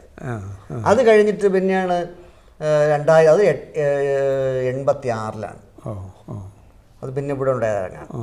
അന്ന് ആശ ഇല്ല ആശ ഇവിടെ ഇല്ല. അല്ലാതെ രണ്ടാമത്തെ ഇറങ്ങാറുണ്ടായത് അന്ന് കുപ്തനാഥ് സാർ കാണാനുണ്ടായിരുന്നു. കുപ്തനാഥ് സാറ് എഴുതി എൺപത്തി ആറിലാണോ ലേഖനം എഴുതിയത്? ഏഹ് വിജയന്റെ ഉർവശിയെ പറ്റി. ഉർവശിയെക്കുറിച്ച് എഴുതി. മാത്രമല്ല എനിക്കൊരു ഓണപ്പുടവൻ തന്നു. ഇത് കരുതി ഓണപ്പുട കരുതി കൊണ്ടുവന്നതല്ല. ഇത് കൊടുക്കണം എന്ന് കരുതി മുൻപ് കരുതി കൊണ്ടുവന്നതല്ല. പിന്നെ ആളെ വിട്ട് വാങ്ങിപ്പിച്ചാണ് അങ്ങനെ കൊണ്ടുവന്നു. ഞാൻ അതെന്റെ അമ്മയ്ക്ക് കൊണ്ട് കൊടുത്തു. ആശാ വന്നപ്പോൾ വിവരം പറഞ്ഞു. ഇങ്ങനെ സംഭവം ഉണ്ടായി എന്ന് പറഞ്ഞു. അങ്ങനെയൊക്കെ ഉണ്ടായി. അങ്ങനെ അത് മാർഭൂമിയിൽ വന്നത് ഒരു കൂടുതൽ പ്രചാരത്തിന് ആ. പ്രചാരത്തിനിട വന്നു മാതൃഭൂമി എന്നുള്ള പത്രത്തിൽ കുത്തൻ നായർ സാർ എഴുതുക എന്ന് പറയുന്നത് ചെറിയ കാര്യമല്ല. എന്റെ ചെറിയ പ്രായത്തിൽ രണ്ടും എഴുതാം. പക്ഷേ ഇത് സാർ എഴുതാം മാതൃഭൂമിയിലും എഴുതാം. പക്ഷെ അത് വളരെ ഉന്നതമായ ഒരു ആൾക്കാരെ കുറിച്ചാണ് ആവാം. ഇത് എഴുതിയപ്പോൾ അത് കൂടുതൽ കിട്ടി. പിന്നെ ആശാൻ പഠിപ്പിച്ച ലളിതമാരാണല്ലോ മറ്റൊരു പിന്നെ എഴുതാം.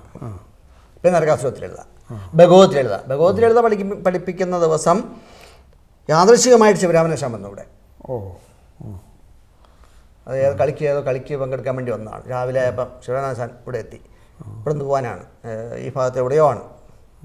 ആ കുളിയെ കഴിഞ്ഞു. അപ്പം ഞാൻ ശിവരാമനശാനോട് പറഞ്ഞു ശിവരാമ ശിവരാം വന്നാൽ നന്നായി. ഇന്നിപ്പോൾ ഇങ്ങനെ വിജയന്റെ ഭഗവത്തിൽ എഴുത ചൊല്ലിയാടിക്കണം എന്നാണ് കരുതുന്നത്. ശിവരാമൻ കൂടെ ഉണ്ടല്ലോ. എന്ന് പറഞ്ഞ് ശ്രീധരേട്ടനാണ് മദ്ദളം അന്നിവിടെ. ഓ സാധാരണ ശ്രീധരേട്ടൻ.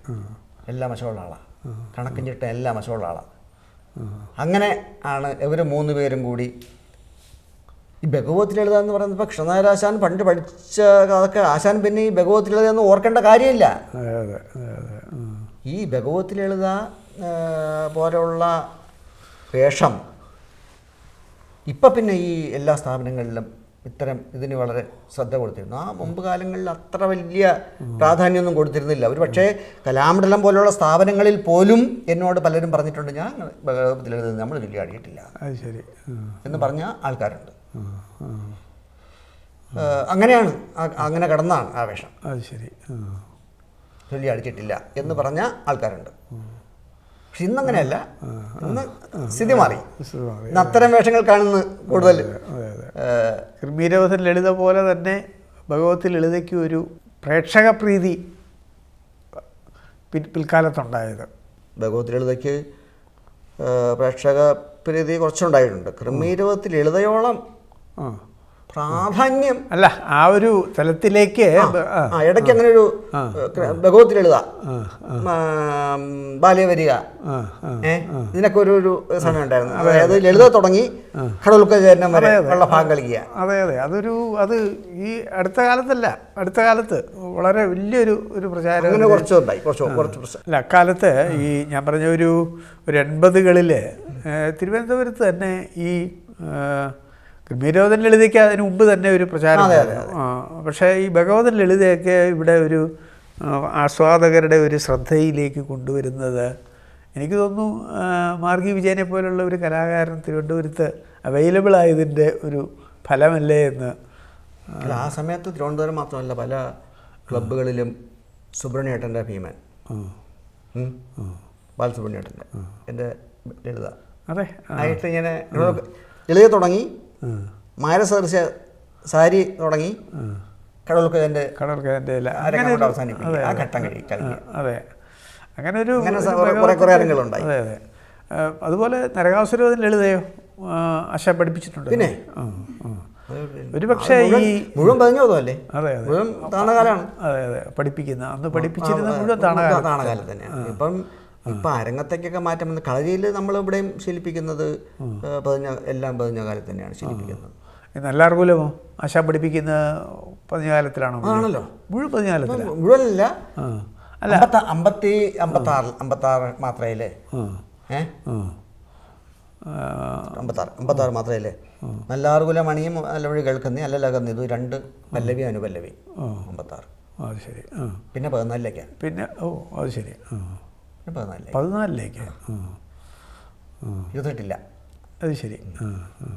ഒരു പക്ഷേ വിജയന്റെ ഒരു പ്രശസ്തിയുടെ അല്ലെങ്കിൽ പ്രചാരത്തിന്റെ ഒരു വലിയ ഘടകം എനിക്ക് തോന്നുന്നു പൂതന ലളിതയാണ് കുറേ ഉണ്ടായിട്ടുണ്ട്.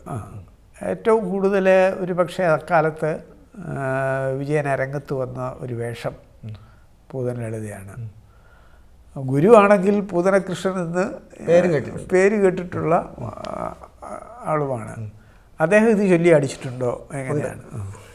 ചൊല്ലി ആടുന്നതിന് മുൻപ് ഞാൻ ഈ പൂതനാമോഷം ലളിത കെട്ടി.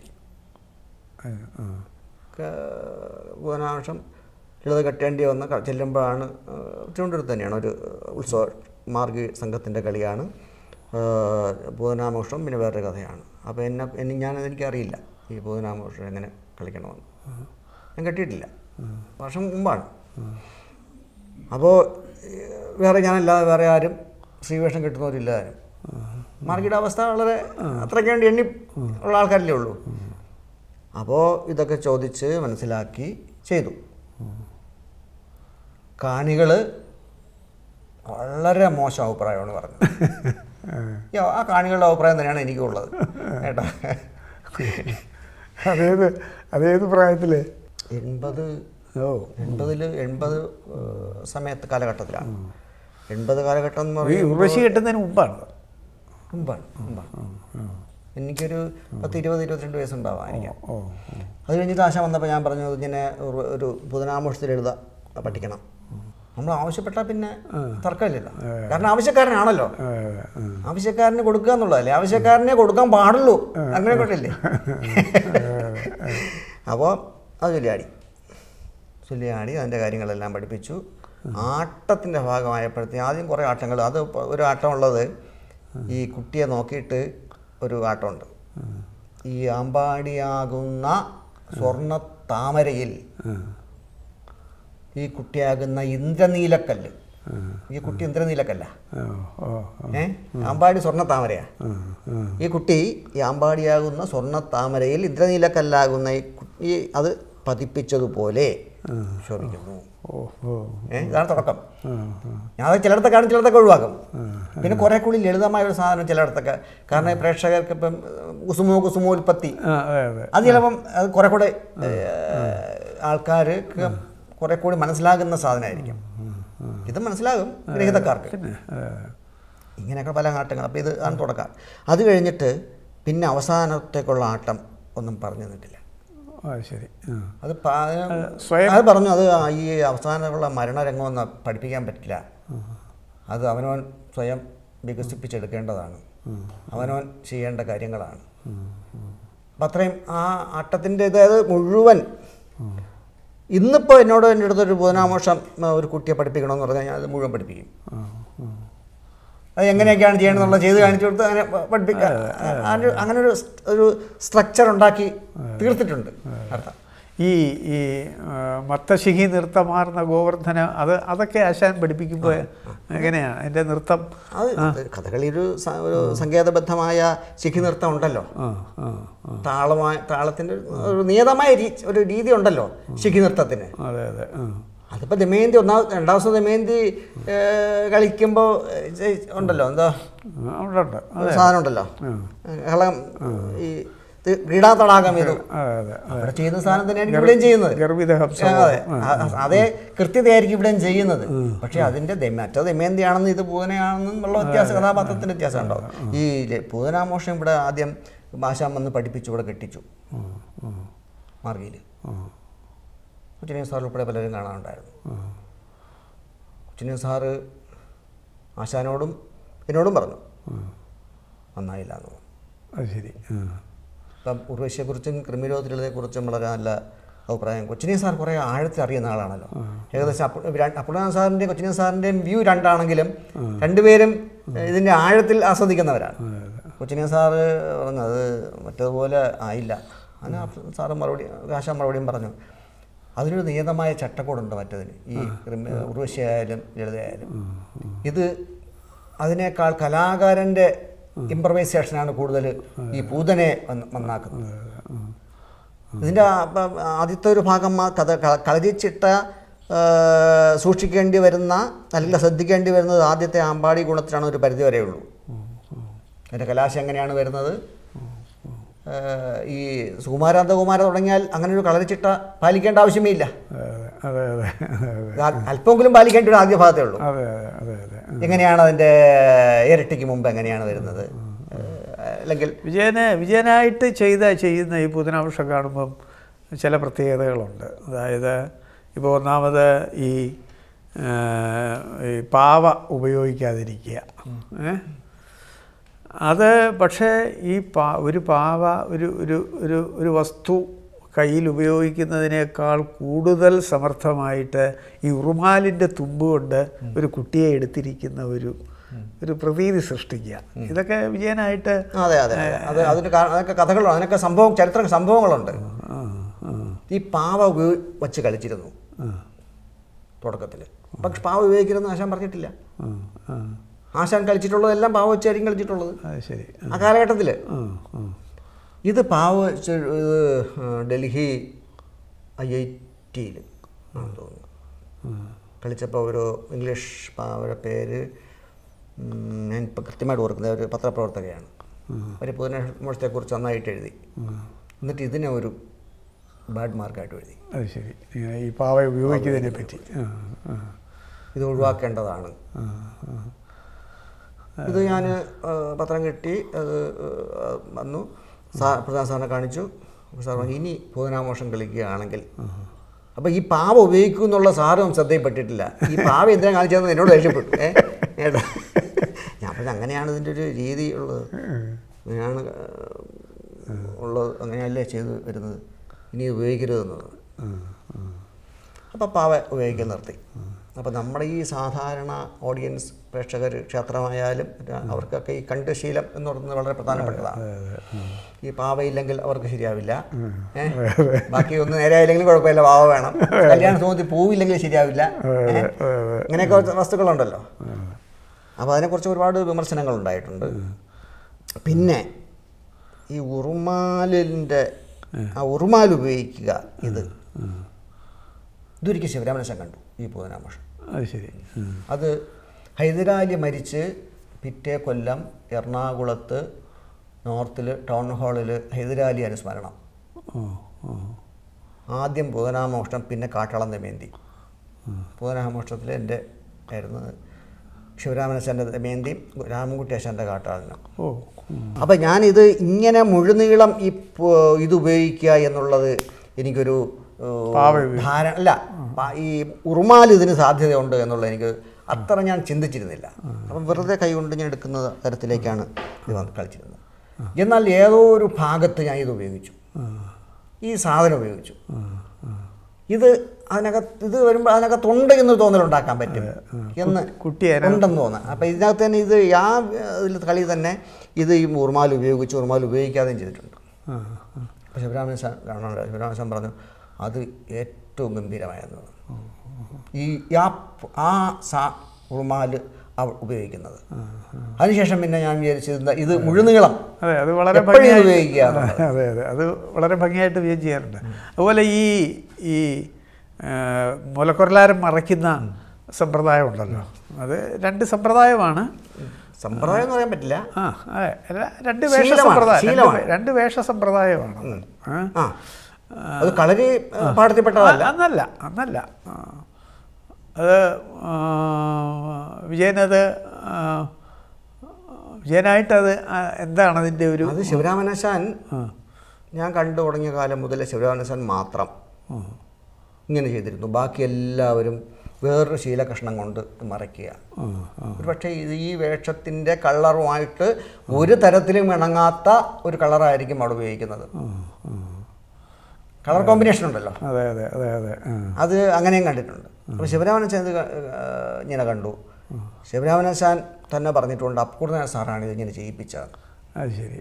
അദ്ദേഹവും അങ്ങനെയാണ് പണ്ട് മറച്ചുകൊണ്ടാണ് വേഷം കിട്ടിയിരുന്നത്. അത് ശരി. അപ്പൂർണ സാർ പറഞ്ഞിട്ടാണ് ഇങ്ങനെ ആക്കിയത്. എന്നോടും അപ്പൂർണ സാർ തന്നെയാണ് പറഞ്ഞിരിക്കുന്നത്.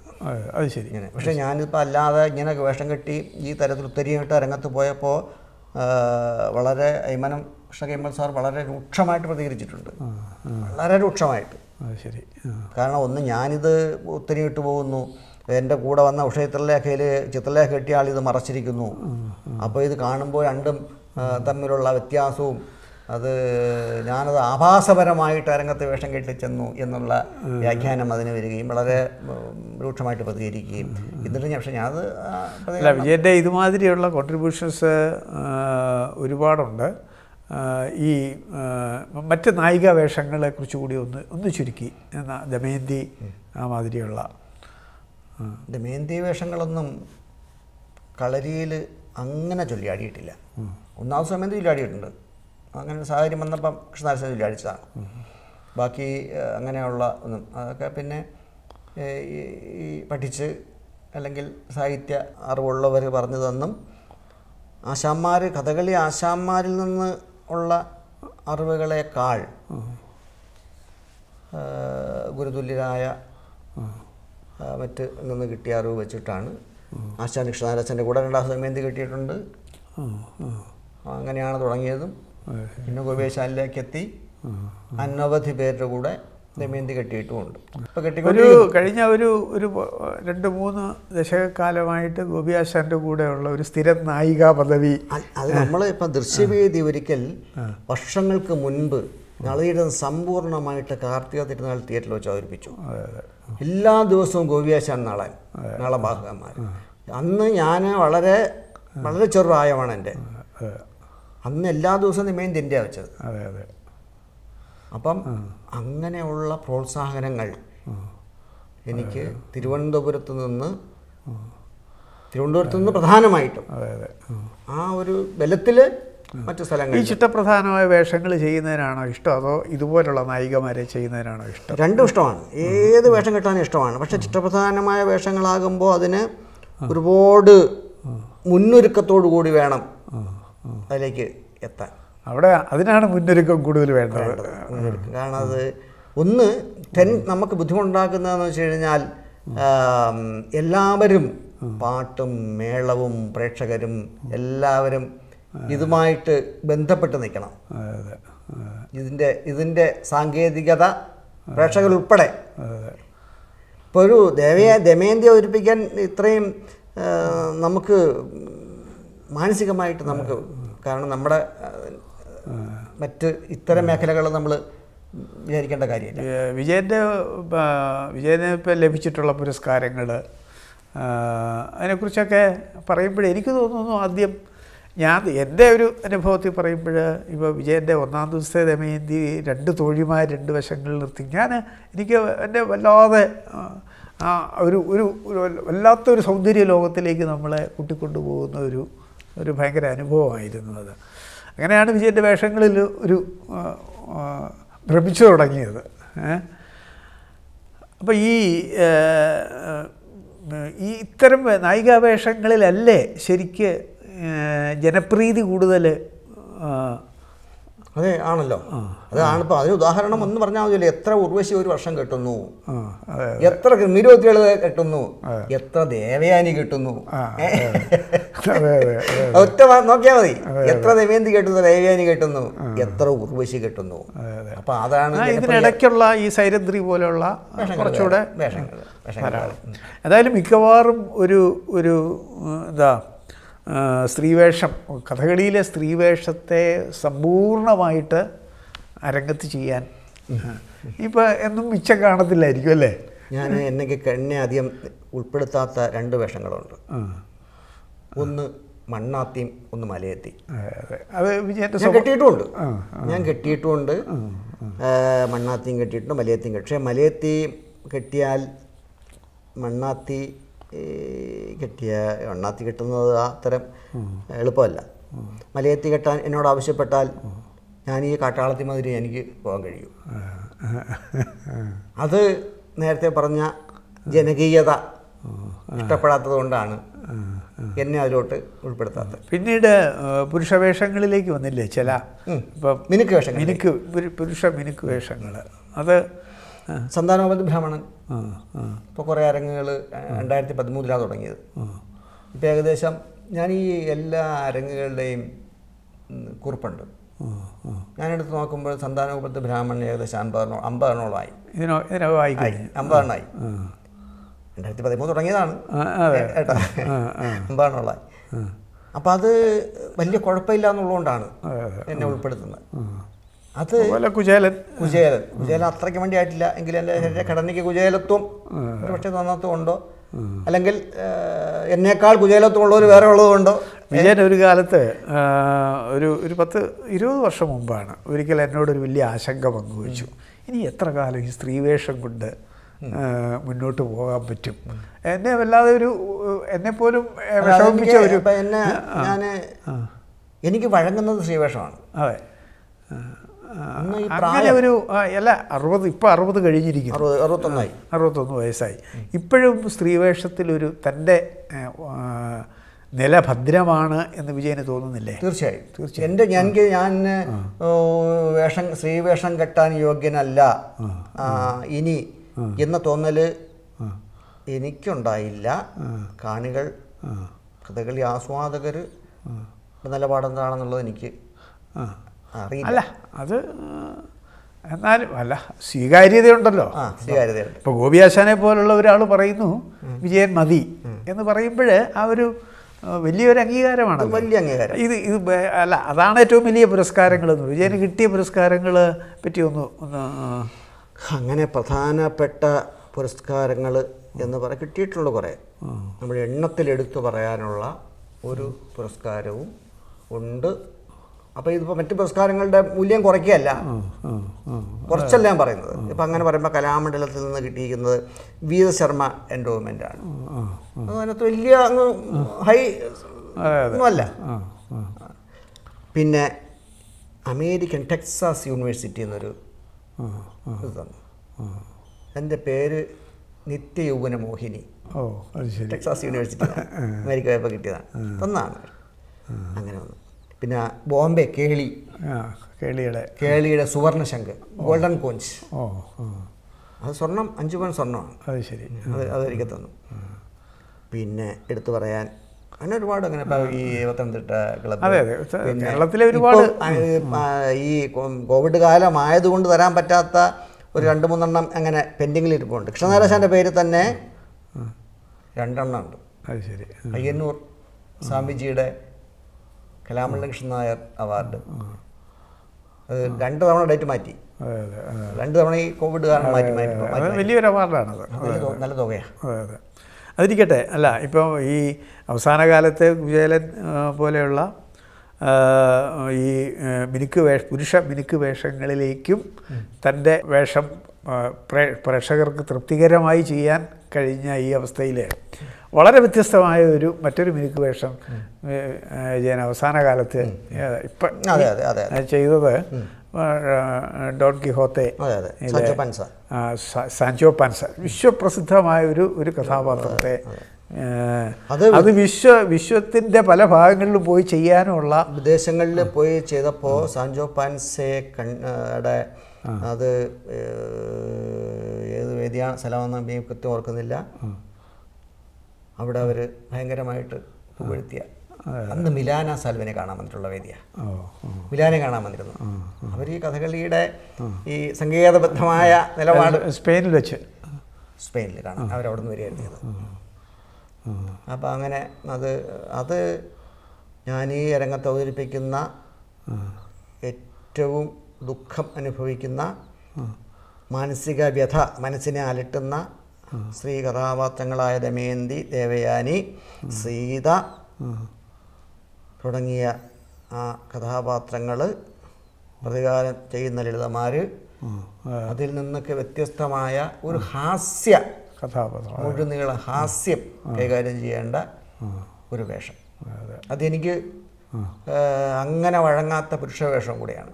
ഞാൻ ഈ സ്ത്രീ വേഷത്തിന്റെ മേഖലയായിരുന്നു അത് അത് വിജയിപ്പിക്കുക. അതും അന്ന് നമ്മൾ തിരുവനന്തപുരത്ത് അതിന്റെ ഉദ്ഘാടന അരങ്ങ് കഴിഞ്ഞപ്പോൾ വളരെ സന്തോ തൃപ്തികരമായ തര സന്തോഷമായ അനുഭവങ്ങളാണ് ഉണ്ടായത്.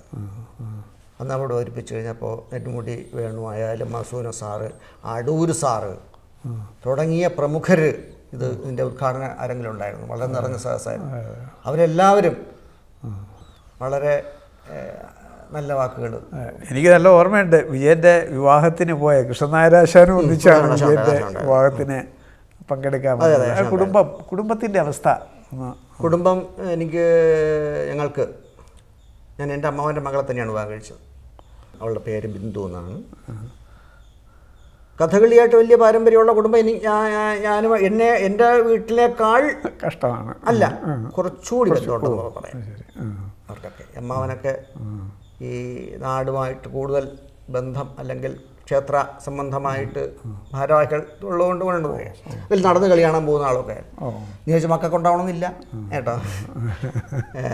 അപ്പോൾ അവർക്ക് കഥകളിയെക്കുറിച്ച് അങ്ങ് അതിന്റെ സങ്കേ സാങ്കേതിക വശങ്ങൾ അറിയില്ലെങ്കിലും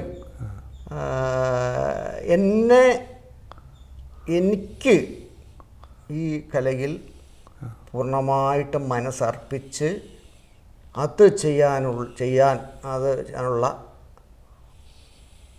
സുഖവും സൗകര്യവും സാഹചര്യവും അവരൊരുക്കുന്നുണ്ട്. കാരണം അവർ അത് മതി നമ്മുടെ പ്രവർത്തനം അഴിക്കുവാൻ തന്നെ അത് മതി. മ- ഒരു മകളാണ്. ആൺകുട്ടിയും പെൺകുട്ടിയും ട്വിൻസാണ്. അഞ്ച് വയസ്സായി. അങ്ങനെയാണ് കുടുംബ സംതൃപ്തമായ കുടുംബ ജീവിതമാണ് സംതൃപ്തം സംതൃപ്തമാണ്. നമ്മൾ വിദേശയാത്രയിലാണ് തുടങ്ങിയത്. നമുക്ക് വിദേശയാത്രയിൽ തന്നെ അവസാനിപ്പിക്കാം. ഏറ്റവും ഒടുവിലത്തെ വിദേശയാത്ര എന്ന് പറയുന്നത് ഡോൺ കിഹോത്തയുടെ ഒരു അൻപത് തവണ അൻപത് തവണയോ കൂടുതൽ വിദേശയാത്ര പോയിട്ടുണ്ട്. രാജ്യങ്ങൾ അത്ര ഉണ്ടാവില്ല. രാജ്യങ്ങൾ അത്ര ഉണ്ടാവില്ല. പക്ഷേ യാത്ര അൻപത് തവണ കൂടുതൽ അൻപത്തിരണ്ട് തവണ പോയിട്ടുണ്ട്. ഇത് രാജ്യങ്ങളുടെ കണക്ക് പറഞ്ഞാൽ ഒരു മുപ്പതിനകത്തൊക്കെ ഉണ്ടാവുള്ളൂ. അത് തന്നെ വലിയൊരു ഇതാണ്. അത് അത് അതാണ് ആദ്യമായി എടുത്ത അല്ലെങ്കിൽ എന്നെ കൊണ്ട് എടുപ്പിച്ച തീരുമാനം.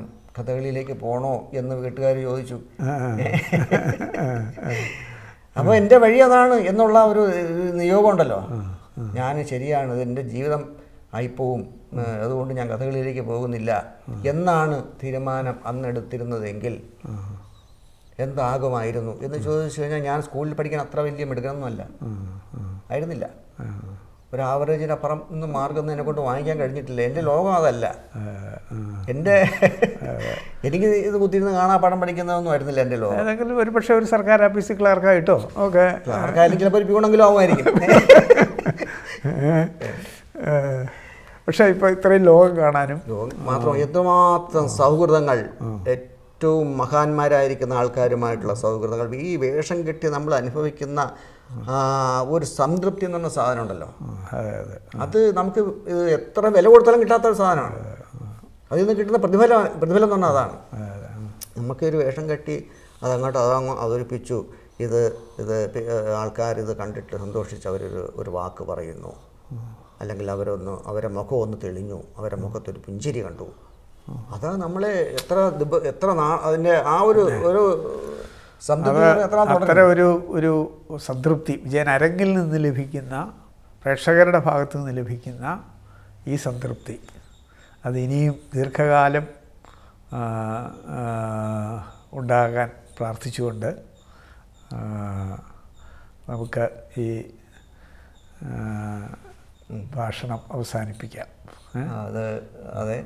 അതങ്ങനെ തന്നെയൊക്കെ സംഭവിക്കട്ടെ. എനിക്ക് ഒരുപാട് കാലം ജീവിക്കുക എന്നുള്ളതൊന്നും എന്റെ മോഹത്തിൽപ്പെട്ടതല്ല. ജീവിക്കുന്നിടത്തോളം ഇത് ഭംഗിയായിട്ട് അവതരിപ്പിക്കാൻ കഴിയണം. അതിനുള്ള ആരോഗ്യം എനിക്കുണ്ടായിരിക്കണം. ആയുസ് എനിക്ക് വേണമെന്നൊന്നുമില്ല. ആരോഗ്യം വേണം. മാനസികവും ശാരീരികവുമായ രണ്ടും രണ്ടും. മാനസികമായിട്ടുണ്ട്. ശാരീരികമാണ് വേണ്ടത്. അത് നമ്മുടെ പ്രായം കൂടുന്തോറും നമ്മൾ അവശതപ്പെടുത്തുന്നതല്ലേ? അതാണ് ഞാൻ പറഞ്ഞത്. ആരോഗ്യം വേണം. ആയുസ് വേണമെന്നൊന്നുമില്ല. അത് ഇങ്ങനെയുള്ള ആൾക്കാരിൽ നിന്ന് എനിക്ക് കിട്ടണം. നമ്മളെ ഒരിക്കലും നമ്മുടെ മനോവീര്യം കെടുത്തുന്ന തരത്തിൽ പ്രേക്ഷകരിൽ നിന്ന് നമുക്ക് അനുഭവങ്ങൾ ഉണ്ടാവാതിരിക്കണം. മനോവീര്യത്തിനെ ഊർജപ്പെടുത്തുന്ന തരത്തിലുള്ള പ്രതികരണങ്ങൾ ഉണ്ടാവണം. ഇത് മതി ഒരു കലാകാരനെ അവനെ അധപ്പതനത്തിലേക്ക് കൊണ്ടുപോകാൻ ഒരു പ്രേക്ഷകൻ വിചാരിച്ചാൽ സാധിക്കും. ഒരാൾ വിചാരിച്ചാൽ വേണമെങ്കിൽ സാധിക്കും അല്ലേ അങ്ങനെയുള്ള അനുഭവം ഉണ്ടാകും അതായത് നമ്മൾ വളരെ ഇത്രയും നേരം വളരെ നല്ല രീതിയിലുള്ള സംഭാഷണങ്ങളുണ്ടായി. അത് തന്നെ വലിയ കാര്യം. എന്തായാലും നമസ്കാരം.